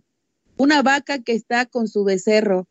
Quizás un becerro con hambre pudiera nutrirse un poco de otra madre, si tiene mucha hambre. Pero cuando los deteníamos allá en la pradera, esa mamá pasaba a través de esa multitud de vacas y becerros hasta encontrar al suyo. Y el becerro estaría corriendo hacia su madre. Él conocía ese cierto quejido en su bramido y ella estaba bramando por ese becerro. Y las otras madres estaban bramando a tal grado que uno ni siquiera podía concentrarse. Pero ese pequeño becerro sabe encontrar ese cierto llamado de su madre, porque es parte de la madre. 27. Y un cristiano nacido de nuevo del cielo, él es parte de esta palabra, ¿correcto? A otra mamá, él no seguirá. Él es parte de la palabra. Él se queda con la palabra. Si la trompeta diera un sonido incierto, ¿quién puede prepararse para la batalla? dijo Pablo. Él conoce el sonido de la palabra. Fíjense cómo, cómo es esto. La mano predestinada de Dios siguiéndolos a ellos hasta el fin. Él sabe que Él fue ordenado y que está en la verdad del Evangelio. Él sabe que nació por el Espíritu de Dios. Él sabe que el Espíritu de Dios no puede negar la palabra de Dios. Por lo tanto, a un extraño, él no seguirá. Fíjense cómo. 28. Yo estaba mirando aquí atrás una nota que tenía escrita aquí. Yo, yo lo pasé por alto, pero sucede que vi la lectura de la escritura y pensé en referirme a esto de nuevo. Fíjense cómo sus propias ovejas predestinadas lo siguieron a él. Allí mismo, en los días de los más grandes teólogos, que jamás hemos tenido. Ellos salieron porque lo conocían a él. Ellos sabían lo que la palabra había prometido para ese día. Ellos sabían cómo debía ser el Mesías cuando él viniera. Y Simón Pedro vino a él, el cual era únicamente Simón en ese entonces. Y Andrés había tratado de hablarle acerca de todo eso. Este hombre es el Mesías. Bueno, Simón, por supuesto, él quizás era un poquito testarudo y no quería ir. Pero cuando él llegó ante la presencia de Jesús, cuando Jesús dijo, tu nombre es Simón y tú eres el hijo de Jonás. Ahora, sabemos que Jesús le dijo a sus apóstoles que él los conocía a ellos. Y eso desde antes de la fundación del mundo. Ellos eran los atributos de sus pensamientos. Por lo tanto, siendo que esa simiente estaba en él y él sabía que la palabra decía y que había sido prometido que el Mesías sería un profeta. Y cuando él vio eso, él dejó de pescar. Él supo entonces que abandonaría sus redes porque él iría y llegaría a ser un pescador de hombres. 29. Ahora, había otros parados allí que vieron las mismas obras y lo clasificaron como un espíritu maligno. Esos eran los teólogos, porque no era al gusto de su enseñanza teológica, y ellos lo rechazaron porque se apoyaron en su propio entendimiento, según sus doctrinas, siendo que Jesucristo vino según el cumplimiento de la palabra de promesa, y ellos estaban demasiado ciegos para verlos. Ellos se apoyaron en lo que los sacerdotes decían y en lo que la iglesia decía, en vez de sobre lo que dijo Dios. Ahora, Jesús los reprendió a ellos por eso. Él dijo, escudriñad las escrituras, porque en ellas ustedes reclaman que tienen vida eterna, y ellas son las que dan testimonio de mí. Estas escrituras que yo les, les estoy pidiendo escudriñar ellas les dicen a ustedes ¿quién soy yo? Pero ellos no se apoyaban en lo que decía la palabra, sino que se apoyaron en lo que era su entendimiento. Ellos se apoyaron en su propio entendimiento y la escritura nos dice que fueron velados. El velo de su propia teología los tenía cegados. Ustedes dicen, hermano Branham, ¿a qué se refiere usted? Párrafo 30. Yo simplemente me refiero a esto. Esa cosa está ocurriendo otra vez, al grado que hombres y mujeres y personas se apoyarán en una cierta iglesia a la que ellos se han unido y a la que pertenecen, sin importar lo que dice la palabra de Dios al respecto. Ellos siguen con eso, apoyándose en su propio entendimiento e ignorando la palabra de Dios como si nunca hubiese sido escrita. Es una simiente de vida humana sin germinar. Tiene la vida física, pero sin vida espiritual para ser vivificada. El velo estaba sobre sus rostros. Ahora fíjense, ellos tenían sus propios pensamientos de lo que Dios debería ser. Ellos tenían sus propias ideas de lo que el Mesías debería ser. Pero la palabra dijo lo que debería ser el Mesías. Ahora, vean, ellos tenían su propio entendimiento de lo que él sería. No hay duda que el sumo sacerdote dijo, todos mis sacerdotes bajo mis órdenes, miren, cuando venga el Mesías, nosotros hemos construido aquí un gran templo, hemos hecho todo esto. Y la Biblia dice que Él vendrá súbitamente a su templo y todas estas cosas.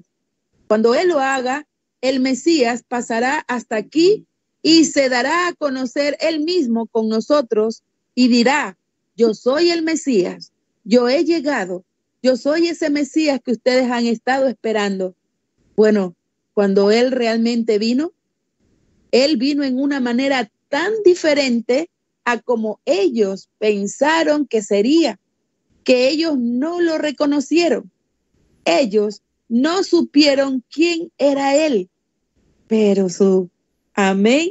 Dios le bendiga, mis hermanos. Amén, hermana Reina. Dios le bendiga la lectura, mis amados hermanos y hermanas. Por el tiempo concluimos con este glorioso compañerismo. Esta es la lectura de los mensajes de nuestro profeta Elías. Si Dios permite, el día mañana, si nos da un día más de vida, continuaremos con con la lectura a partir de los párrafos 31 de este glorioso mensaje titulado No te apoyes en tu propio entendimiento. Servicio realizado en Phoenix, Arizona, Estados Unidos, del día 20 de enero del año 1965. Al despedirnos, en gratitud a nuestro Padre Celestial, decimos gracias, Padre, Dios Todopoderoso, por habernos permitido entrar nuevamente a la escena de tu palabra, que eso es vida, Padre.